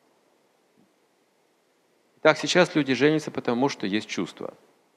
А в прошлом люди женились, потому что был долг. Великие люди, они были очень разборчивы в браке. Они принимали партнера в соответствии с разумом, с необходимостью. Была такая царица Дропади когда-то, Махабхарте описывается. Пять тысяч лет назад описывается история планеты. И была это одна из самых великих цариц мира. Семь, семь великих женщин существует, Дропади одна из них. Это история планеты целиком. Махабхарата называется. И вот Драупади, она родилась из священного жертвенного огня необычным способом. Когда она появилась из этого огня во всем убранстве, все были ошарашены ее божественным образом. И все подумали, эта женщина, она разрушит весь мир. Она очень могущественная, очень привлекательная, очень глубокая. Мужчины будут убивать друг друга за нее. Это была ее миссия. Разрушить все демонические силы. Появилась очень чистая, могущественная женщина – и все демонические силы возбудились, когда увидели ее. Каждый царь хотел заполучить ее руку. Почему? Почему так? А потому что если вы мужчина царь, вам нужна вдохновляющая сила рядом. Иначе вы, ваша сила бесполезна. То есть он необходимость для такого человека иметь достойную, сильную жену. Чем сильнее жена, тем сильнее вдохновляющая сила. Тем больше человек может добиться в жизни. Люди использовали разум, не просто какие-то чувства. Итак, вы видите красивую девушку, да, но будет ли она вдохновлять всю жизнь? У нее достаточно глубокого сознания внутри, чтобы она смогла вас всю жизнь вдохновлять. У нее есть ресурс или только внешность? Если только внешность, это лет на 5-7 хватит. Потом старение, привыкание, ну, это обычный процесс биологический, вы теряете постепенно больше и больше интереса. Переходите на требования, на ссоры глубокие, на обиды и в конце концов кого-то еще находите на стороне. И так это Драупади. И ее завоевали воины на своем варе в день, на состязании. Ее отец вынужден был собрать всех этих шатлиев, воинов мира, которые ее хотели руки, и устроить состязание справедливое. Наиболее сильный, могущественный получит ее руку. И Арджун это сделал. Он выполнил то, что никто не мог сделать. Он был таким лучником. Царь сделал так, он подвесил муляж рыбы под потолок зала собраний. Ниже этой рыбы вращалось колесо со спицами. Нужно было попасть в глаз рыбе стрелой из лука между спицами колеса, колеса вращающегося, глядя на колышущее отражение бассейна внизу. Отражение колышется, колесо вращается, за ней рыба, глаз. Вы должны пронзить точно в какой-то момент. Это сделал только один воин того времени, Арджун. Он завоевал ее. Она спустилась вниз с балкона и предложила ему гирлянду. И все воины чуть с ума не сошли. Они все бросились. Сражаться начались. Пришлось разгонять всех еще воинов оттуда. Не так все просто было. То есть люди боролись за, вот, то есть это разум. То есть вы теряете тогда все. Если вы теряете хорошую жену, пол жизни выбрасываете. Если у вас нет духовного учителя, выбрасываете всю жизнь. Сейчас у людей нет часто ни того, ни другого. Ни настоящей сильной пары, ни духовного наставничества. Жизнь бессмысленно становится в потемках. То есть это разум. То есть жена необходима. Редкие люди могут обходиться без жены. Это уже завтрашняя тема будет. Или без мужа. То есть можно все это миновать, конечно же. Если наша жизнь где-то вот тут как-то изломана каким-то образом, не проработана, хорошо, мы сделаем так и займемся чем-то другим, более высоким. Это тоже можно, это завтрашняя тема. Сегодня семейные отношения. И сейчас мы сталкиваемся с тем, что мужчина и женщина не понимают друг друга. Почему? Не хотят понимать. Из-за ложной гордости, чем сильнее вы себя отождествляете с телом мужчины и с телом женщины, тем меньше вы понимаете другого человека. То есть вы хотите от женщины того же, что все мужские, мужские характеристики ожидаете и понимание интеллекта. А женщина ожидает женские характеристики. Потому что если отождествляет с женщиной, она думает, что он должен действовать как женщина. А мужчина с мужчиной и думает, что женщина должна понимать и действовать как мужчина. И поэтому мужчина превращается в капризного ребенка в семье. Он просто говорит, то хочу, это хочу, все хочу, ругается, критикует, недоволен постоянно, а защиты должной обеспечить не может. Поэтому сегодня мы обсуждаем, что это за психология, чтобы понять друг друга, отвлечься от собственной персоны, что мы в чем-то едины, но в чем-то мы различны. В чем же это различие? Женщина в 9 раз глубже устроена мужчины. Это сейчас для мужчин информация. Женщинам это не обязательно знать. Мужчина должен знать, что женщина в 9 раз все переживает глубже, чем мужчина. И счастье, и горе, и потери, и приобретение. И материнство, и любовь в 9 раз. То есть, смотрите, внутренне она сильнее мужчины в 9 раз. Она легко его может подчинить. Просто расплакаться, эмоции свои проявить, и мужчина уже теряет силу. Все, слабеет перед ней. Или своей красотой, своей пластикой, движениями, формами. Она легко его сбивает с толку. Он перед ней как дурак будет стоять просто. Как дурак, вот, вот как поставите, так и будет стоять, понимаете? Вот, вот как поворачивать, как хотите. Он любую форму примет, он становится дураком просто. Это могущество внутренней женщины, влияние ее. Если какая-то женщина идет по улице, громкий стук каблуков, мужчины смотрят. Если какой-то мужчина бежит по улице, никто не замечает. Понимаете, разница большая. То есть внутренняя энергия женщины, она проявляется в ее поведении, также в ее одежде, в ее голосе, в ее характере. Она привлекает, сильно привлекает мужской ум. Потому что он не устроен так глубоко. Для него женщина как какое-то сверхсущество, превосходящее его. Когда он влюбляется, он так и думает. Сверхсущество. То есть что-то непостижимое для него. Это называется любовь, привлечение. А сам мужчина, он имеет единицу от девяти способностей женщины а, переживать, чувствовать и различать разум и чувства поверхностней. При этом он в 9 раз свободней, независимый. Не переживает то глубоко, ему легче в жизни. Он хорошо устроен, смотрите, без женщины. Говорится, мужчина очень хорошо устроен без женщины. То есть ему, собственно, женщина не нужна с этой точки зрения. Потому что женщина может забрать его свободу. И современные мужчины боятся именно этого, входить в семью, именно потому, что могут потерять свободу. Это для них самое дорогое. Вот эта единица, значит, свобода. И когда женщина эмоционально давит на него слезами или какими-то требованиями, или пилит его, он этого никогда не выдержит. Он либо бросит ее, либо застрелится, либо найдет себе другую женщину. Нет этого не сидит ни один мужчина. Если всю жизнь что-то требуется, что-то пилится, и что-то вот чувствами, знаете, вот продавливается, мужчина это терпеть долго не сможет. Для него это невыносимо, такая нагрузка. Поэтому действует глубоко в сердце, она там работает с ним, тут вот прорабатывает его. А когда он не выдержит, он прорабатывает его кулаками сверху. Он не может так глубоко прорабатывать, но у него есть эта физическая сила, она боится его гнева физической силы. Почему? Потому что разум и чувства у них работают тоже по-разному. Для тех, кто не слышал, я покажу.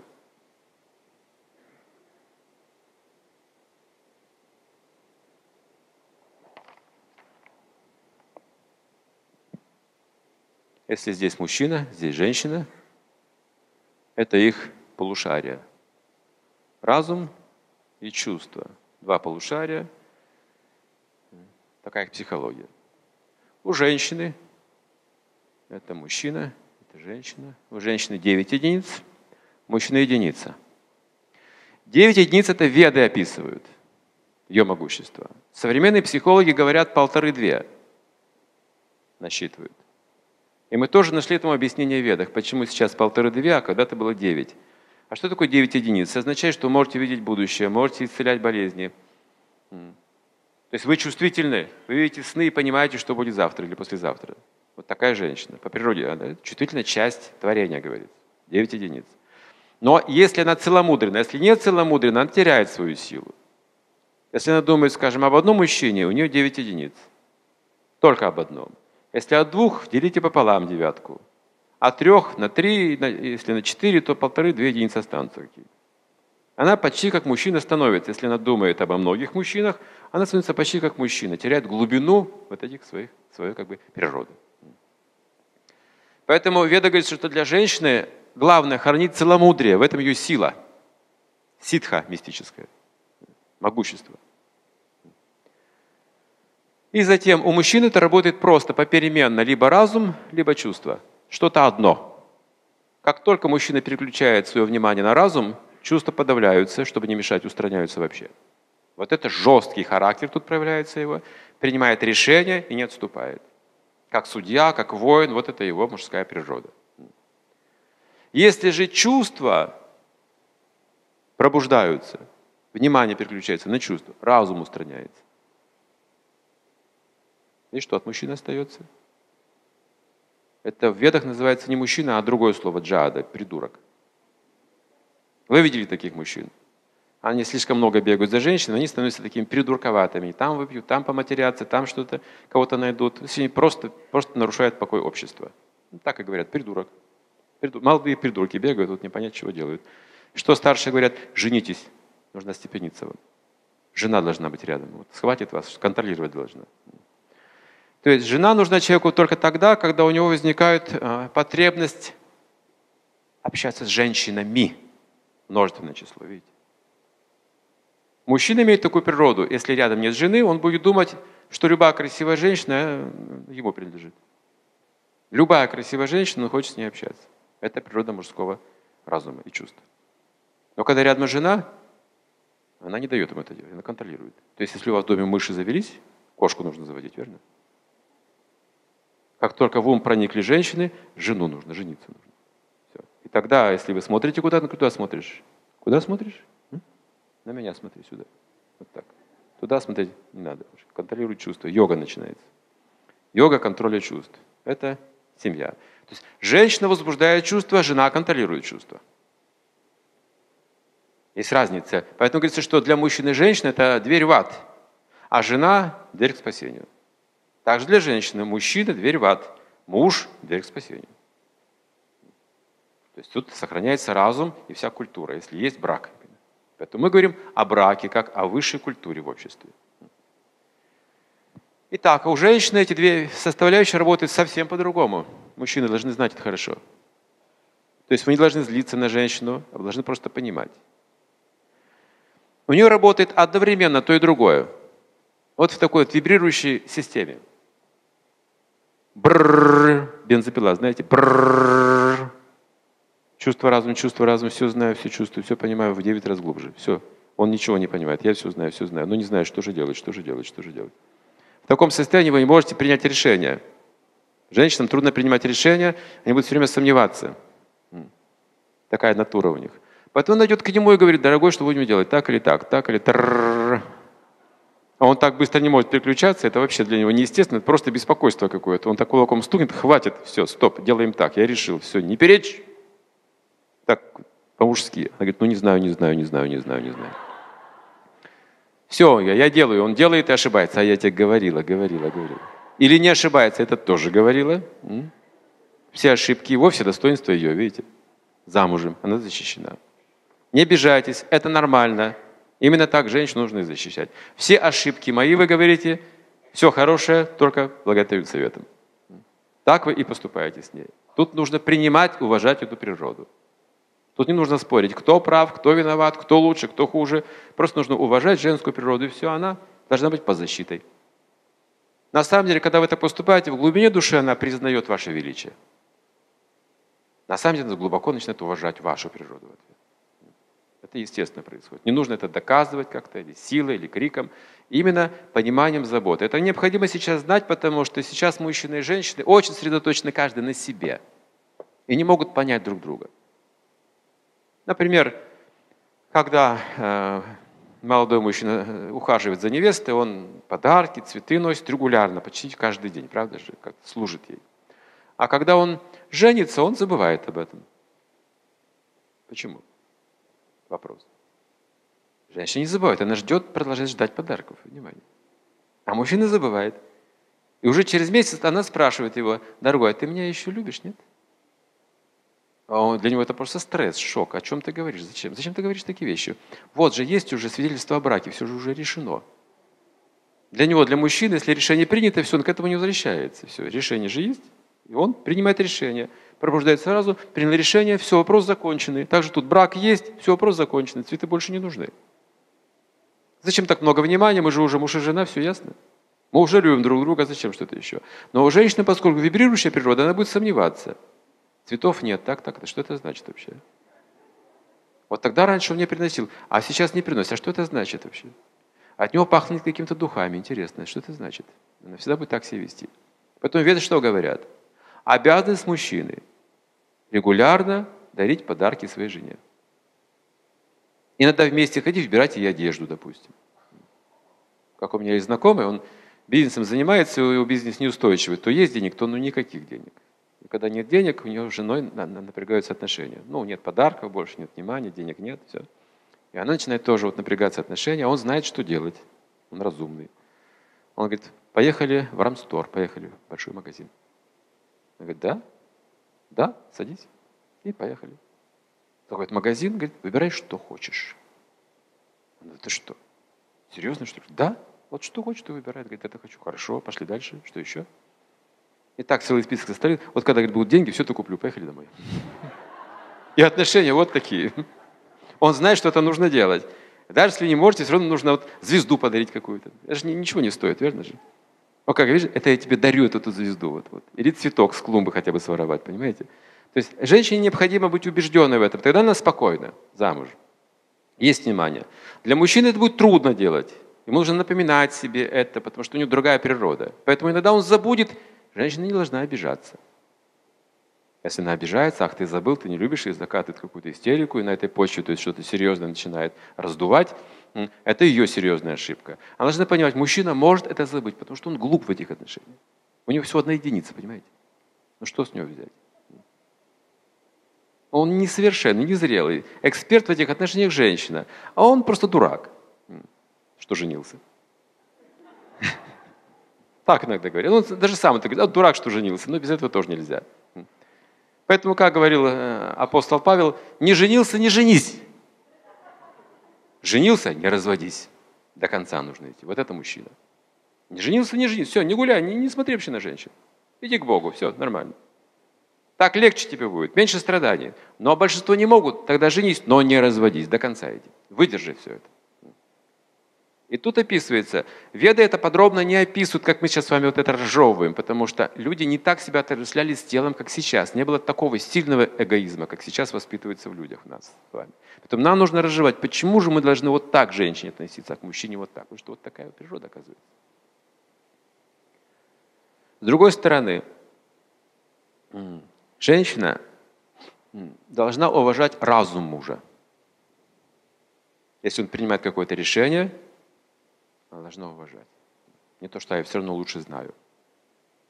И упрекать, потом за все ошибки. Главное, что она должна быть защищена. Быть замужем. Вот это главное для нее. Неважно, кто прав, кто виноват, нужна защита женщин. В обществе это одна из главных программ. Защита женщин, детей, стариков, священников и коров. Написано в ведах. Пять. Коров в том числе. Корова – мать человека. Ее нужно под защитой держать. Не убивать никогда коров, ни в коем случае. Физическая цивилизация запрещает это делать. Это акт самого глубокого невежества. Семья без коровьего молока имеет проблемы. Потому что коровье молоко дает интеллект детям. Интеллект взрослым. Это источник интеллекта человеческого. То есть корова так связана с человеком.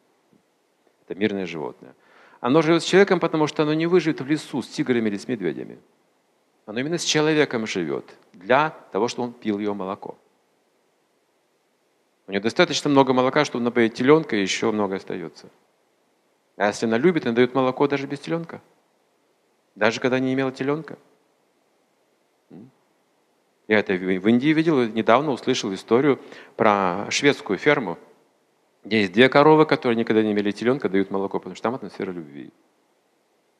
Также в новостях однажды прочитал об одной женщине, 70, около 70 или даже больше, не помню, преклонный возраст.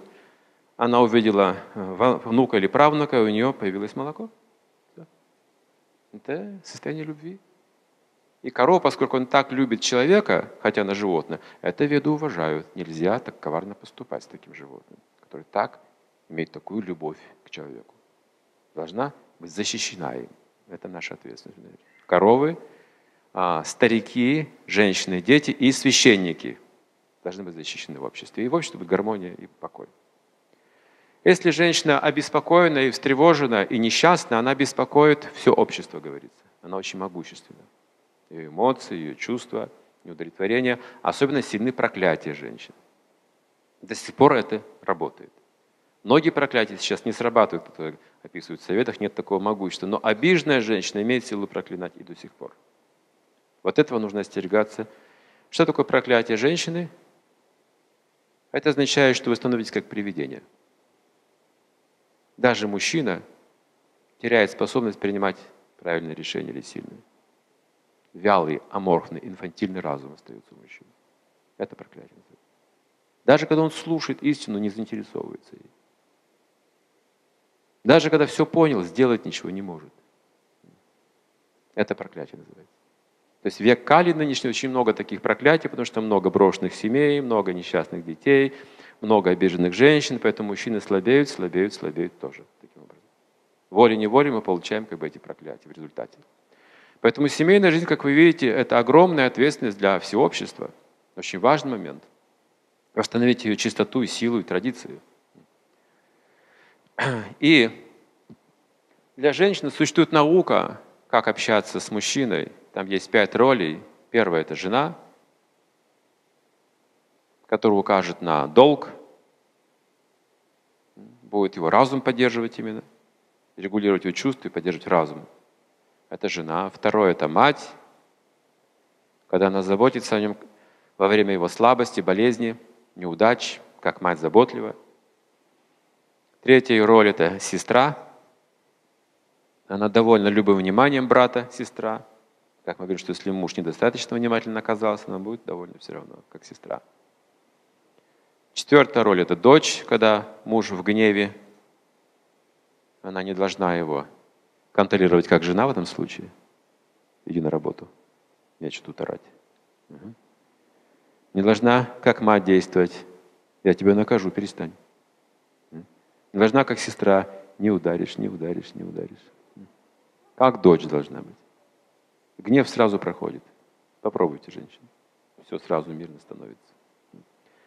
Смирение женщины очень могущественно. И пятая роль – это роль любимой женщины, любовницы.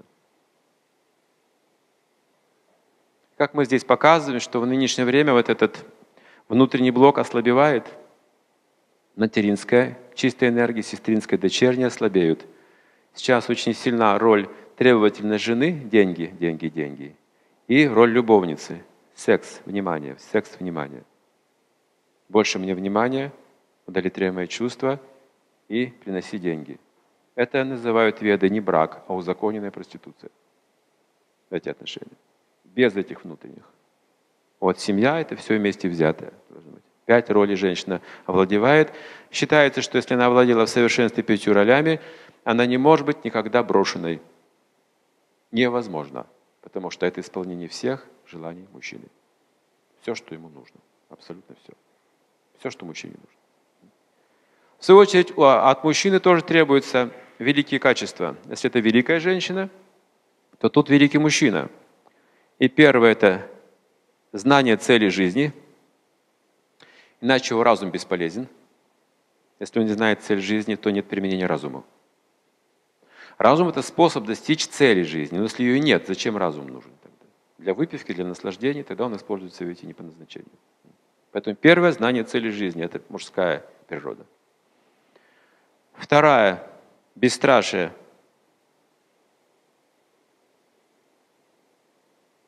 Бесстрашие – и третье – щедрость. Это качество великой личности, или, как мы говорим с позиции чакры, в виде открыты все необходимые чакры. А здесь они открыты.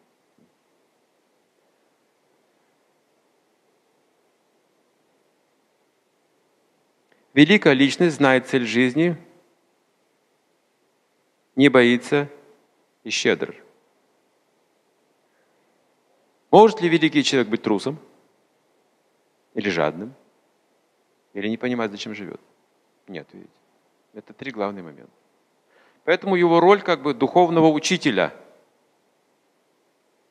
Вот благодаря вот этим качествам роль духовного учителя. Когда он становится духовным учителем, только одна вещь необходима для мужчины. Медитация на абсолютную истину на Бога и контроль чувств. Буквально, если говорить конкретно – контроль сексуальной энергии своей. И эти качества в нем автоматически выражаются. Это его природа. Именно сексуальная энергия разрушает вот эту природу, героическую и могущественную мужскую природу. Потому что языком физиологии семя мужчины формируется из крови. Вы знаете, что кровь – это энергетически самая могущественная субстанция. В некоторых религиях говорится, что кровь – это душа человека. Настолько она энергетична, могущественна. Так вот, из стакана крови вырабатывается лишь капля семени мужского. Вот такая вот сжатая могущественная сила. И когда он расходит энергию для чувственных наслаждений слишком много, он лишается этой энергии. И тогда он становится трусоватым, жадноватым и забывает, зачем живет. Это чисто можно объяснить физиологически и психически. То есть сексуальная энергия лишает его силы, вот и все. Вам легко быть щедрым, когда много денег, не так ли? А когда мало, трудно. Здесь то же самое. Когда много у нас сил, мы можем помочь кому-то. Мало сил, мы не так способны. И также мужская сила заключается в ее контроле чувств и присутствии разума. Это есть мужчина. Когда он теряет разум, это уже что-то другое. Поэтому напрямую как бы счастье и успех семьи зависит от регуляции семейных отношений, то есть сексуальных отношений. Ну, также и пища здесь имеет свое значение, другие вспомогательные факторы – но веды говорят, что есть только один враг у человека в этой жизни, это его вожделение. Это главный враг все пожирающих, говорится, вожделение. Не думайте, что война и вражда существует потому, что есть Белый дом и Кремль. Не по этой причине, а потому, что есть вожделение. Вот почему это происходит. Поэтому от отношений мужчины и женщины в обществе зависит вся и политика, и экономика, и культура, и все на свете. Видите, какая наука взаимоотношений? в центре всей культуры, и религии, и философии, и образа жизни, отношения мужчины и женщины. Если мы здесь разберемся, все станет на свои места. Когда? Через полгода. Начиная от этого сегодняшнего времени. Если вы это будете практиковать, через полгода все кардинально изменится в вашей жизни. Улучшится во много крат. Сначала нелегко. Почему? Так же, как терпеть зуд. Комар укусил. Чешется. Трудно терпеть. Вы чешете легче становится, правда же? А потом зуд усиливается. А нужно чесать еще больше. Легче, а потом он усиливается. И так, пока в кровь не разорвете руку. А что? Потерпите чуть-чуть, он утихнет. Также сексуальное желание. Нужно знать, как терпеть, как переключать внимание. Не то, что вы смотрите на противоположный пол и терпите. Так вы с ума сойдете. Так вы пойдете в психиатрическую лечебницу, конечно же. Если вы продолжаете думать об этом и не делать этого, то вы взорветесь. Конечно, разорвет эта чакра, вас просто разорвет. Именно вопрос, что переключаете внимание выше, на другую чакру. Это философия, это гармония отношений, это радость, это культура, это творчество, это искусство всевозможное. Это та же сексуальная энергия на более высоких уровнях. В конце концов, есть духовность, это любовь духовная. Если вы обладаете такой энергией, вожделение просто вам не нужно. Нет необходимости в этом. Оно вообще не нужно, кроме как, чтобы зачинать детей. Оно вообще не нужно, эта энергия. Ходить сексуально возбужденными не нужно постоянно. Если смотрите на улицах друг друга, всегда поддерживает это, это настроение возбуждения. А для чего? Что люди шли путем материального прогресса. Это написано в Ведах. Если вы хотите ускорить материальный прогресс, тогда просто открывайте вот это вот вожделение, усильте в обществе, чуть-чуть добавьте этих картинок, одежду немножко смените, ноги немножко, юбки поднимите повыше чуть-чуть, и все, и мужчина активизируется в этом направлении именно, в материальном. Если хотите больше одухотворить общество, умиротворить, опустите длину юбки чуть пониже и прикройте какие-то другие вещи. Вот и все. И дайте людям знания какие-то.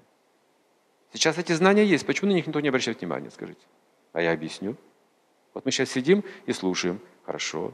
А представьте, что теперь мы все сидим в зале без одежды. Сможем слушать? Зачем нужна одежда? Чтобы мыслить на другом уровне. Это не просто мода. Как красиво, или как это было, или как это должно быть, это не просто мода. В этом есть смысл разумный. То есть одежда означает, что вы можете мыслить выше обычных каких-то условностей. И вся как раз культура человека, она выражается в его способности одеваться, говорить, вести себя, не вызывая вожделения, не тревожа разум противоположного пола, а сохраняя видение духовное при этом. Это уважение это уважение. То есть, когда вы видите духовно друг друга, это высшая форма уважения друг другу. Когда вы подчеркиваете всегда а, половые различия, это не уважение к партнеру. Как говорил Иисус Христос, что а, в Ветхом Завете заповедовалось, что тот, кто а, прелюбодействует, тот должен быть наказан, побит камнями. А я вам говорю, Христос сказал, что даже если вы посмотрите на свою жену с вожделением, вы уже прелюбодействуете. Уже это неправильный взгляд. То есть иногда вы знаете, когда это нужно, когда это необходимо. Но это не должно быть культурой. Это неправильная основа. Я сейчас говорю революционные вещи. Тем более для западного мира. Это часть уже западного мира. Но я думаю, что, что вы уже согласитесь со мной, потому что опыт показывает, что это не та культура, которая удовлетворяет душу. Не та культура, которая приносит счастье. Тут чего-то не хватает. И не хватает именно вот этих духовных знаний. А потом, на самом деле, это не так уж и плохо видеть красивую женщину, если вы лишены этого, как бы вот, ни, ни, ни, видения низших чакр. Это хорошо, это вдохновляюще, что есть красивые женщины, допустим. Но смотря как посмотреть на это. Это нравится всем. В ведические времена а, мужчины и женщины играли на праздниках друг с другом на улице. Они бросались маслом, допустим, или водой обливались на праздниках. До сих пор в Индии так делают в какие-то дни. Мужчины в одной стороне, женщины в другой и поливают друг друга то красками, то водой, то маслом. При этом, говорится, вся одежда промокает и прилипает к телу. И обозначиваются все эти черты тела, они могут видеть. Но вожделение не происходит, радость усиливается, как дети это делают. Такие праздники были – но люди были чисты. Однажды этот святой, о котором я говорил, приехал в Америку и увидел, там какой-то американец стоит около дома и мочится. И он говорит, ну как же не стыдно, что он делает? Что у вас за культура такая? Это пропада. Ну, ну, понимаете, ну в Индии же мы видим, они тоже мочатся. Он говорит, это другое, там нет вожделения. Они как дети. Это нормально в Индии. Поезжайте в Индию, посмотрите. Там вы тоже можете увидеть все, но они не вызывают вожделения своим поведением при этом. Вот это культура. То есть смотрите, вы тоже можете видеть какие-то обнаженные части тела, там ну, это все можно увидеть в какой-то там культуре или омовение, когда кто-то совершает на но вы не испытываете вожделения, вы совершенно смотрите по-другому на человека в той культуре. Здесь же Здесь же, в материальной культуре, просто Веда говорит, когда они в лицо смотрят друг другу внимательно, возникает вожделение. Достаточно уже одного просто взгляда внимательного. А как? Губы и помада такая. Там глаза подкрасить, что мужчина тоже знает, как это все преподнести себя. То есть культура, чтобы вызвать вот это вот ощущение. И они думают, что вот это есть вдохновляющая сила, вот это есть та самая гармония, вот это вот как бы счастливое общество, которое может так вот вдохновлять друг друга. Мы однажды пели киртан, была коллективная медитация у нас в Тюмени. На каком третьем этаже какого-то здания, там не знаю, какое-то культурное здание, мы весь этаж занимали в зале. А ниже была свадьба чья-то. Ну там все гремело, там были другие вибрации совсем, ну совершенно вот разные, вот как чакры, вот одно внизу, другое наверху, значит. И там у нас духовные беседы, еще киртан, медитация, там 2-3 часа это все, а там все гремит в это время, гремит. И нам нужно было спускаться через этот зал, а потом на улицу выходить. Мы прошли через этот вот э, клаку такой. Ну, в контрасте это, знаете, нужно было увидеть. Так, может быть, незаметно, но в контрасте все были шарашены. То есть там гремит какая-то музыка, даже не музыка, а вот уже бу бу бу бу вот такое, что-то такое, такие ритмы. А там уже непонятно, какие инструменты играют. Удары такие, сердце, знаете, учащенные возбужденные. Вот такой ритм задается, вибрация. И они все танцуют. Раскрасневшиеся такие. Мужчины и женщины друг напротив друг друга и трясутся, вот так стоят. Мы быстренько, быстренько, быстренько, быстренько. Глаза у них такие большие, все возбужденные, все пьяные, трясутся, трясутся, трясутся. Вот это чудовищно было в контрасте увидеть.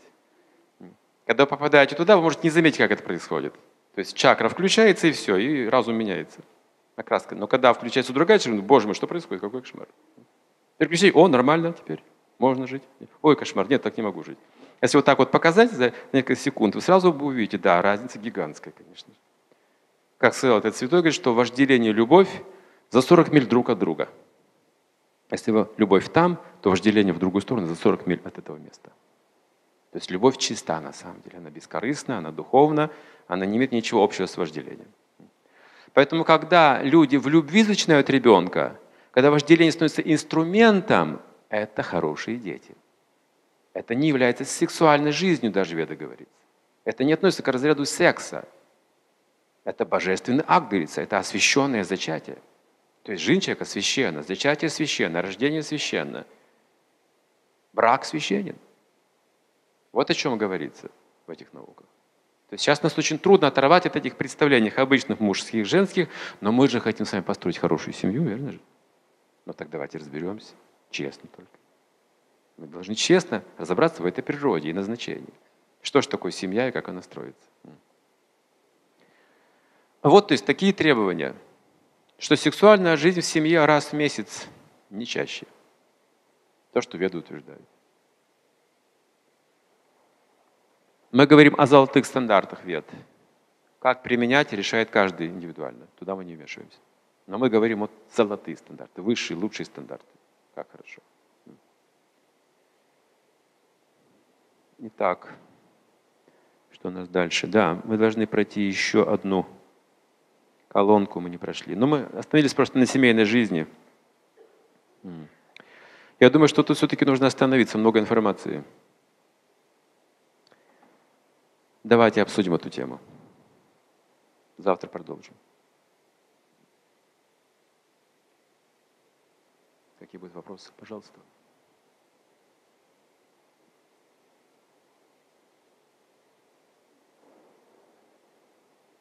Доверие. Да.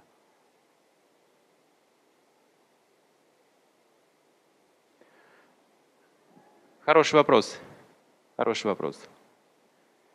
На высшем уровне любовь безусловная находится, и доверие безусловное.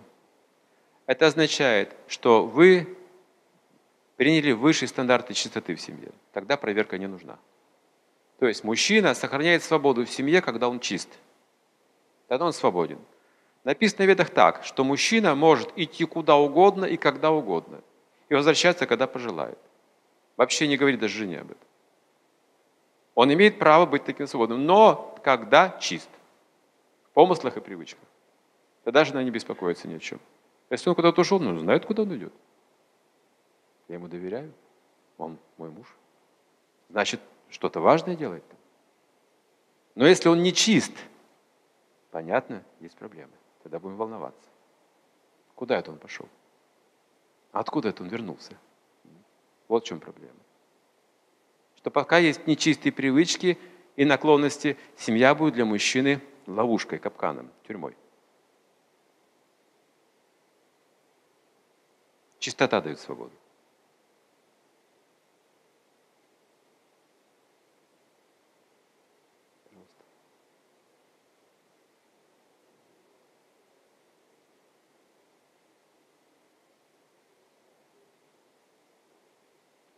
Откуда возникает вожделение в семье, кто ответственен за это, так? Угу. Вожделение принимают только по одной причине, что оно приятно как чувство. Если бы не было этого чувства приятного, мы бы сразу понимали, что вожделение – это сильный выход, расход энергии бессмысленный. Что человек чувствует после сексуальных отношений? Опустошение. И чем больше занимается, тем больше пустоты. Прострация в голове, пустота просто, вакуум. Это потеря энергии. Единственное, по одной причине принимаем, что это приятное, очень сильное, острое ощущение. Возбуждение сильное, приятное чувство, потом опустошение. Все. Этот выход энергии собственной мы путаем со счастьем. Счастье значит, что вы как раз обогащаете, а тут вы истощаетесь наоборот. Это путаница происходит. Так же, как верблюд, что происходит? Он ест колючки. Ведический пример. Сухие, горькие колючки, которые пронизывают язык. Такие растения он ест в пустыне. Но поскольку кровь сочится и смешивается с колючками, и этот вкус крови кажется ему приятный, он принимает это. Вот это называется сексуальное наслаждение. Вот как веды это объясняют. Это иллюзорное наслаждение. На самом деле мы теряем что-то, не приобретаем. И мы говорим, что это приятно.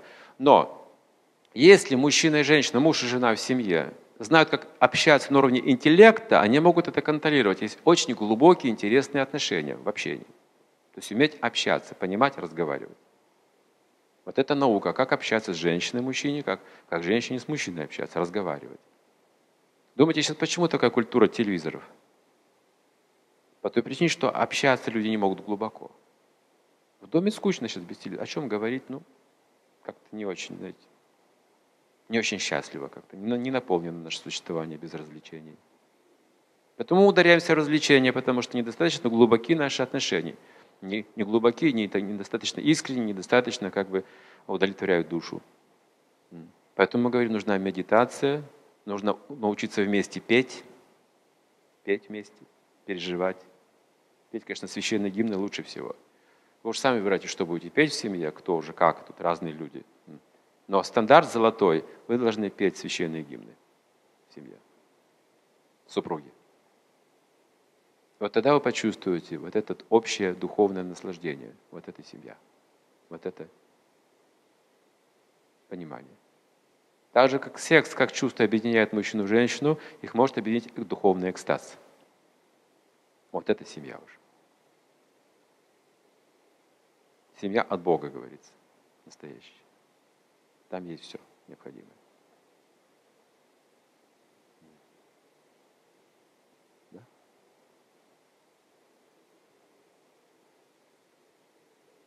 Мужчина. Мужчина.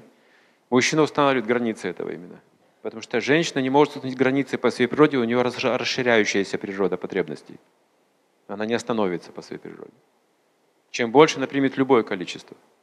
Сколько женщин денег не принесете, она посмотрит и скажет, мало. Не потому, что она жадная, нет. А потому, что она уже видит сквозь деньги. Не на деньги, а сквозь деньги она видит. Вы-то смотрите на деньги, как мужчина. Ну, целая пачка денег, смотри, много, вот такая сумма. Она сквозь деньги, что можно купить на эти деньги? И чем больше денег, тем больше у нее планов, что можно покупать. Всегда мало. Она не жадная, это просто ее природа. Зная эту природу, вы уважаете ее, но контролируете. Как веда дается такой пример? Коза и козел – Коза, значит, она вдохновляет его, стоит перед ним,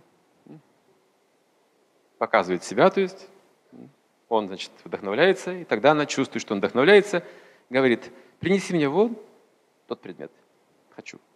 Он побежал, принес, все, любит, нормально. Опять она вдохновляет его, он вдохновляется, и она заказывает, он выполняет.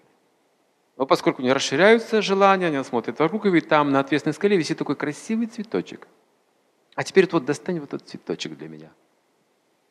Но тут уже козел понимает своим разумом, что можно костей не собрать, то есть опасно очень, очень рискованно, что лучше это вообще не делать. А она говорит, ну ты же любишь меня, правильно же? Ну, она его продолжает вдохновлять. И тогда у козла есть рога для этого, на этот случай. Он вставляет рога и атакует ее, прижимает к стене. Она говорит, да я просто пошутила, я не хотела. Это я просто так сказала. Женщина всегда может так сказать. Она что сказала, я просто так сказала, не обращай внимания. Это тоже нормально для нее. Она не лживая, просто она женщина. Нельзя назвать ее лживой, хотя веды называют, что она лживая в этом смысле слова. Но мы должны уважать природу. Понимать, что она обманывает нас, но это ее природа. Поэтому нужно просто ее контролировать как ребенка. С любовью, как ребенка, но контролировать. Все, достаточно секса, дорогая. Раз в месяц. Все. Она скажет, а ты что, меня не любишь? Вот рога наставляйте на нее. Это я не очень-то и хотел. Я вообще могу без этого обойтись. То есть мужчина должен здесь проявить свою силу. Вот тут нужна ему сила, решимость и разум его. Жене тоже показать, что он силен в принятии решения. И тогда, хотя она не удовлетворена осталась, она уважает его. Вот такой муж, она будет гордиться, потом рассказывать кому-то. Он мне так пережал рогами однажды, о, знаете, великий человек. Вот интересная природа. Чем больше удовлетворяете женщину, тем меньше нас уважает. Если все желания исполняете ее, вы под, под каблук попадаете. Это уже, уже падшее положение мужчины. Мужчина никогда не должен, не должен прогибаться перед женой, говорится в ведах. Должен сохранять силу. Это в ее же интересах, в интересах всей семьи. Но если мы говорим о святой женщине и мужчине, они это понимают вместе прекрасным образом. Там очень все это согласовано. Она знает, как контролировать свои чувства, он знает, как контролировать свои чувства. Там есть Бог. Все в порядке. Мужская и женская природа, они несовершенны, они имеют много недостатков. Мужская природа, она предательская. Женская природа, все пожирающие. Поэтому Веда говорит, ты не мужчина, не женщина, ты душа. Не отождествляйся с мужчиной и женщиной, значит, ты приобретешь вот эти качества плохие.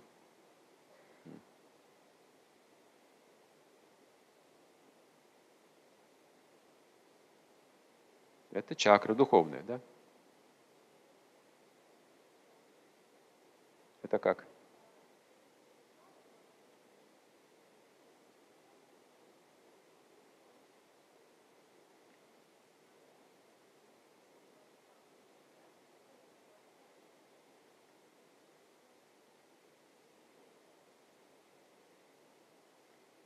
Искусственное оплодотворение. Медицинский акт.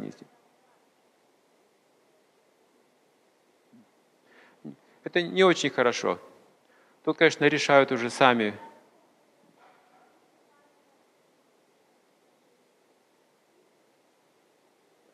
Я не одобряю вот это э, искусственное оплодотворение. Там должна быть любовь причиной рождения ребенка. Может быть, усыновить тогда лучше. Мне кажется, я не могу сейчас точно утверждать, что такие дети, они некачественные, недостаточно качественные. Вы же не хотите просто какого-то некачественного ребенка. То есть тут будет какая-то сложность, какой-то недостаток, может быть.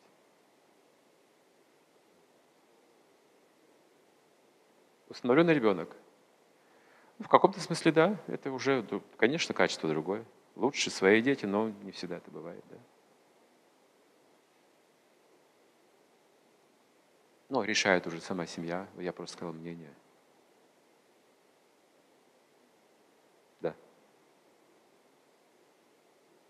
Да, да, я и говорю, это решает семья. Э, это от их решения, путь – это их решение, поймите. Тут нет какого-то ответа, это именно внутренний вопрос, семейный вопрос. Да.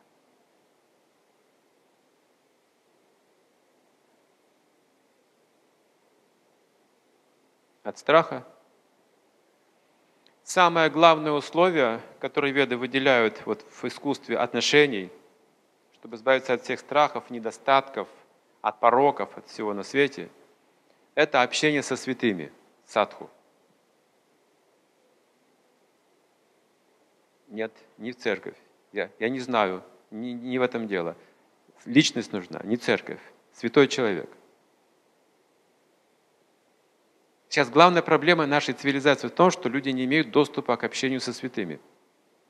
Отсюда все пороки развиваются, несчастье и неспособность как бы что-то изменить. То есть решение всего вопроса заключается именно в этом. Это центральный момент, ключевой момент всей нашей жизни цивилизованной. С кем мы общаемся, таким мы становимся. Если вы хотите освободиться от страха, общайтесь с бесстрашными людьми. Если хотите избавиться от невежества, общайтесь с людьми знающими и так далее. А это означает святые люди. Знающие, бесстрашные, обладающие всеми лучшими качествами. Это именно святые люди. Поскольку обычные люди, они изменили уже все законы Писаний. Они не живут по Писаниям. У нас уже другие законы с вами. Если Писание говорится одно, мы все равно делаем по-другому. И мы сами от человека законы предлагаем человеку. А это не позволительно согласно ведам. Это побуждает, все страхи пробуждают все несовершенства. Вот этим наши несовершенные законы человеческие. На которые нельзя полагаться, на самом деле. Они постоянно меняются или не исполняются, и трансформируются под, под нашими сентиментальными желаниями. То есть закон идет не от человека к человеку, а от Бога к человеку закон спускается. Когда вы получаете эти законы свыше, вот тогда вы становитесь бесстрашным. Ну также, пример, хорошо, если вы, если вы соблюдаете все законы государства, вы же не боитесь полицию. У вас нет страха. Вы спокойно проходите, там милиционер, все хорошо, они защищают порядок, все порядок. Но если вы нарушаете все законы, э, и уголовный кодекс вас преследует, вы боитесь любой формы милицейской. Это пример, сравнение. Также, если вы живете по всем заповедям священным, вы будете бесстрашны, даже перед смертью. Потому что вы чисты, у вас нет греха. Потому что источник страха только грех. В зависимости от а, а, конкретного греха есть конкретные виды страхов. Виды страхов. Зависит от того конкретно, какой грех мы совершили, какой проступок, какое преступление мы совершили. Страхи означают, что мы совершили какие-то грехи в прошлом и ошибки в настоящем. Но общаясь со святыми людьми, вы избавляетесь от всего этого. Страх за ребенка – это страх в благости. Это называется раса, любовь. Любовь вы тоже боитесь, боитесь человека, которого вы любите, немножко побаиваетесь. Это называется раса. Это не, не тот животный страх, который порабощает разум. А, это разумный страх, так скажем. Это страх приемлемый, позитивный страх. Разве вы не побаиваетесь того человека, которого вы любите? Или уважаете кого-то, тоже какой-то страх уважения, страх любви, страх уважения. Есть такое понятие. Но это здоровые отношения.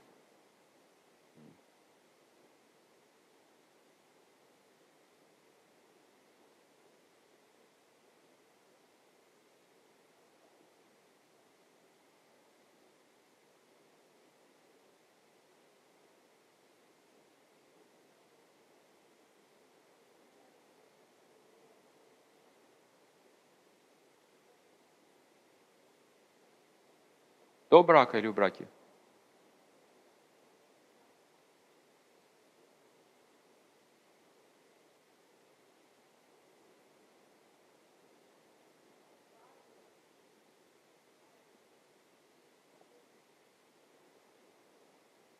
Если мужчина хочет очень часто видеться, встречаться с девушкой, то для этого нужно объявлять помолвку. Иначе нельзя это позволять. Это очень опасно. В плане нарушения этих принципов чистоты это опасно. Запомните одну вещь. Там, где мужчина и женщина, там обязательно будет секс. Это вопрос времени. И секс вне брака – это серьезная ошибка. Люди страдают не потому, что влюбляются, а потому, что в секс вступают недозволенный. Любить не грех, поймите. Это нормально, естественно, как бы сердце, это природа человека, это уважается. Но то, что не уступает в секс до брака или вне брака, вот это проблема. Например, познакомились с молодым человеком, как бы нравитесь друг другу. Решили проверить свои отношения, начали вступать в сексуальные отношения, а потом разошлись. И что вы чувствуете? Вот в чем беда, видите? Вот в чем травма остается. Без сексуальных отношений это не наносит глубокой травмы. А почему же, когда сексуальные отношения происходят, почему травма? Потому что связываются два тон, тонких тела. Веда говорится, что муж и жена – это не родственники, это одно тело, имеется в виду тонкое тело. Поэтому фактически, если секс – это уже акт брачный, поймите. Уже эту, эту самскару впечатление вы не сотрете за всю свою жизнь. Совсем другое, когда платонически любили кого-то и расстались, вы вспоминаете как светлое чувство, радостное. Смотрите, это никак не навредит вам. Любовь вам не навредит, секс навредит. Поэтому вне брака не вступайте. Это защита, это главное условие, чтобы сохранить свою чистоту и как бы, ну, счастье в жизни. Не разбить свою жизнь.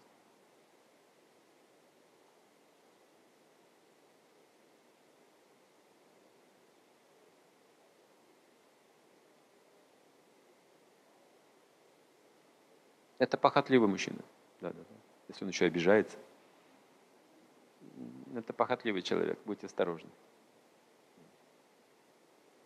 Но если он серьезно настроен, помолвка. Все. Потом свадьба, а потом, пожалуйста, без всяких обид. Будешь работать всю жизнь на этих детей, на меня, все нормально. Если не соглашается, обижается на вас, странный мужчина. Видите, мужчина не прочь поэксплуатировать женщину, еще и обижается.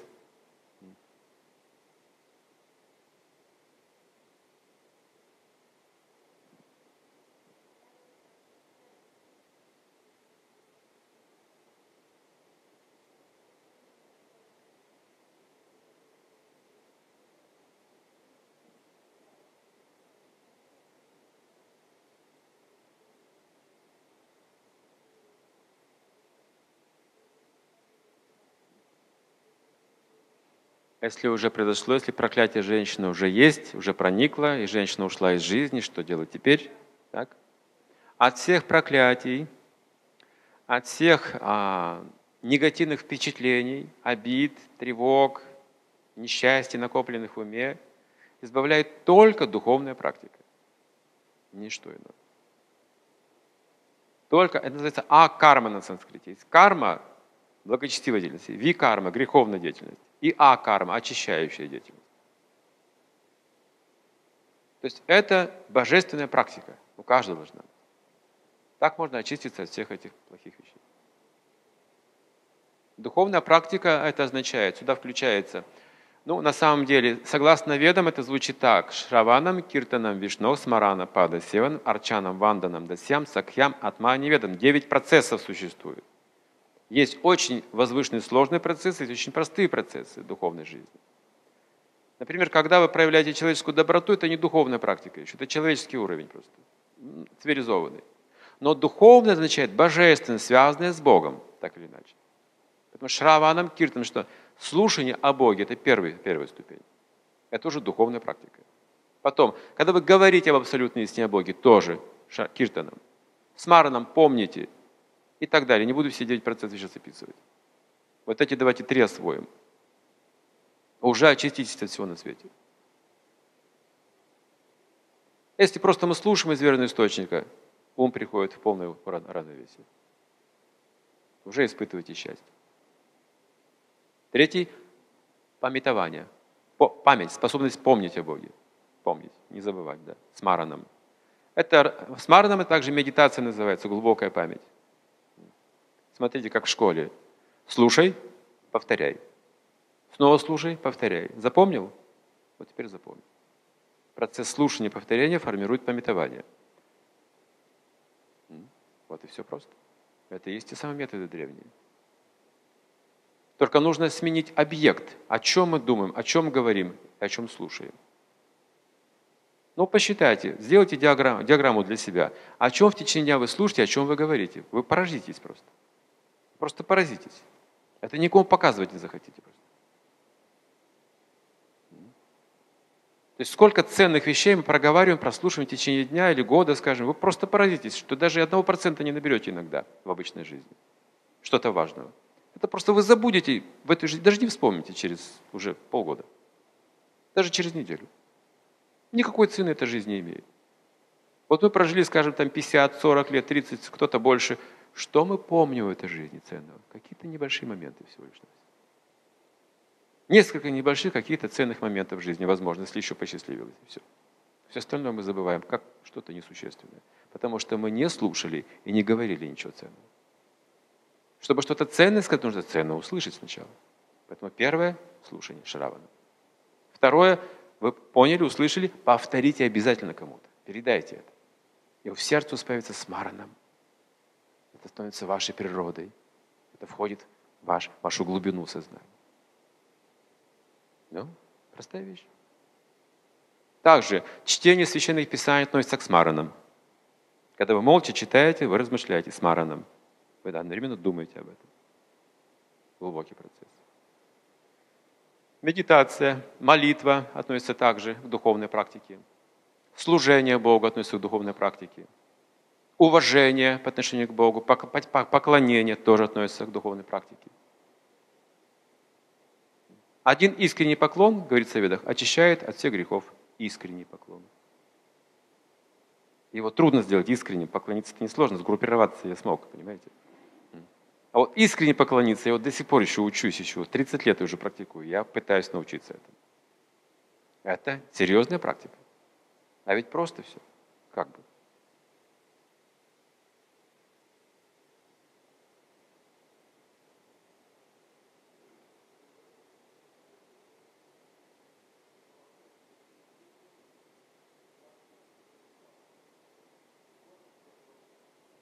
Поподробнее об этом принципе служите Вишну на районе, Лакшми сама придет. Хорошо, хорошо. Конечно, это не так просто объяснить подробнее, но тут нужен эксперимент. Эксперимент. Подумайте, что вы хотите сделать для Бога. Вот завтра сядьте, подумайте просто, с утра. Вот у вас какие-то есть ресурсы, способности, возможности, денежные и другие, и умственные. И сядьте подумайте, вот что я могу сделать для Бога? И реально постройте какой-то план, возможный для вас. И вы увидите, к вам придут новые ресурсы. Сами. Лакшми придет сама. Для служения она сразу явится. Это нужно в эксперименте, на практике увидеть. Или вы просто хотите что-то хорошее делать. Допустим, сейчас прозвучало в начале вот, э, проект. Так, Елена, она тут объявила, что здесь хороший проект. Если вы убеждены, что он хороший, вы просто сами поможете, верно же? Лакшми придет. Поскольку он для всех хороший, то есть для Бога служение, для всех означает. Люди скажут, а я помогу. Лакшми сама придет. Это отзовется в сердце кого-то. Но если я скажу, я затеял построить себе большой дом, лично для себя, понимаете? Ну, хочу. Жить не хуже других. Дайте мне деньги, пожалуйста. Никто не откликнется. В основном никто не откликнется. Это не для Бога. Вы не служите на районе, Лакшми не придет. В Америке есть такая программа, существует такая программа, мне рассказывали. Вы можете, имеете право по закону, воспользоваться каким-то залом, очень дешево, и представить свою какую-то программу альтруистическую, ну, для Бога, для людей. Что полезного вы могли бы сделать, если у вас были бы деньги, допустим. Есть, есть, позволяется людям вот так взять и себя представить, скажем, богатым людям. И если они увидят, да, на самом деле вы искренне, бескорыстно хотите вклад какой-то сделать, жертвуют миллионы долларов. Сразу откликаются. То есть в Америке это практикуют, делают. То есть если вы как только вы на рай не служите, сразу лакшми приходит. Вот такие примеры.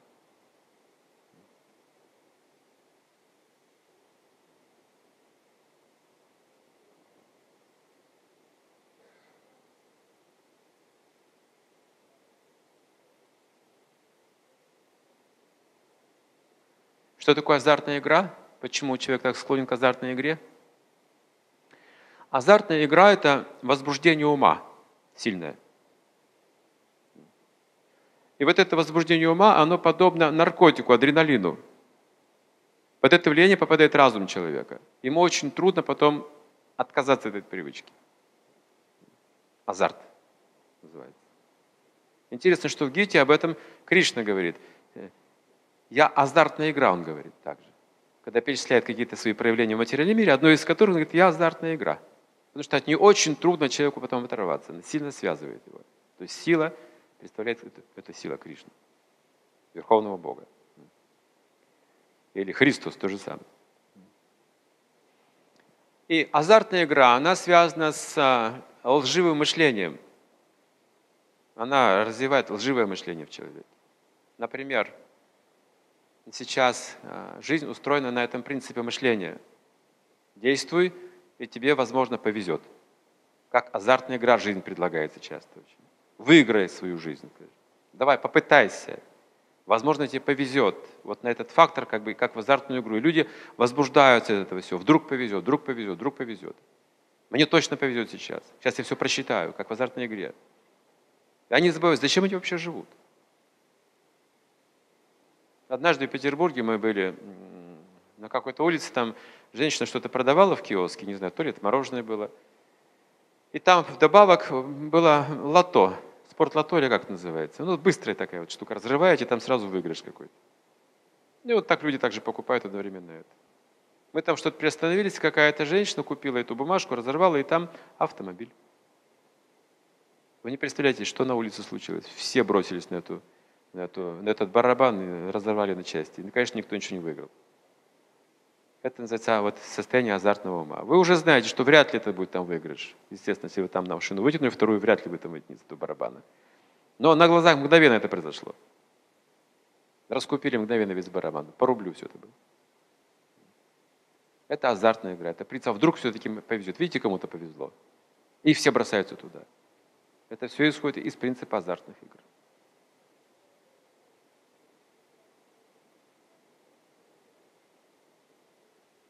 Это удешевление жизни, называется на санскрите сахаджия, упрощение.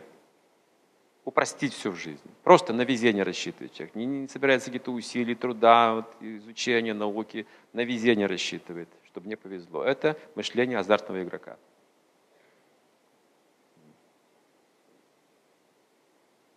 И ум возбуждается. Вот и вся проблема возбуждения ума. Вся в этом проблема. Так, мы должны сейчас здесь закончить. Завтра продолжим. Спасибо большое.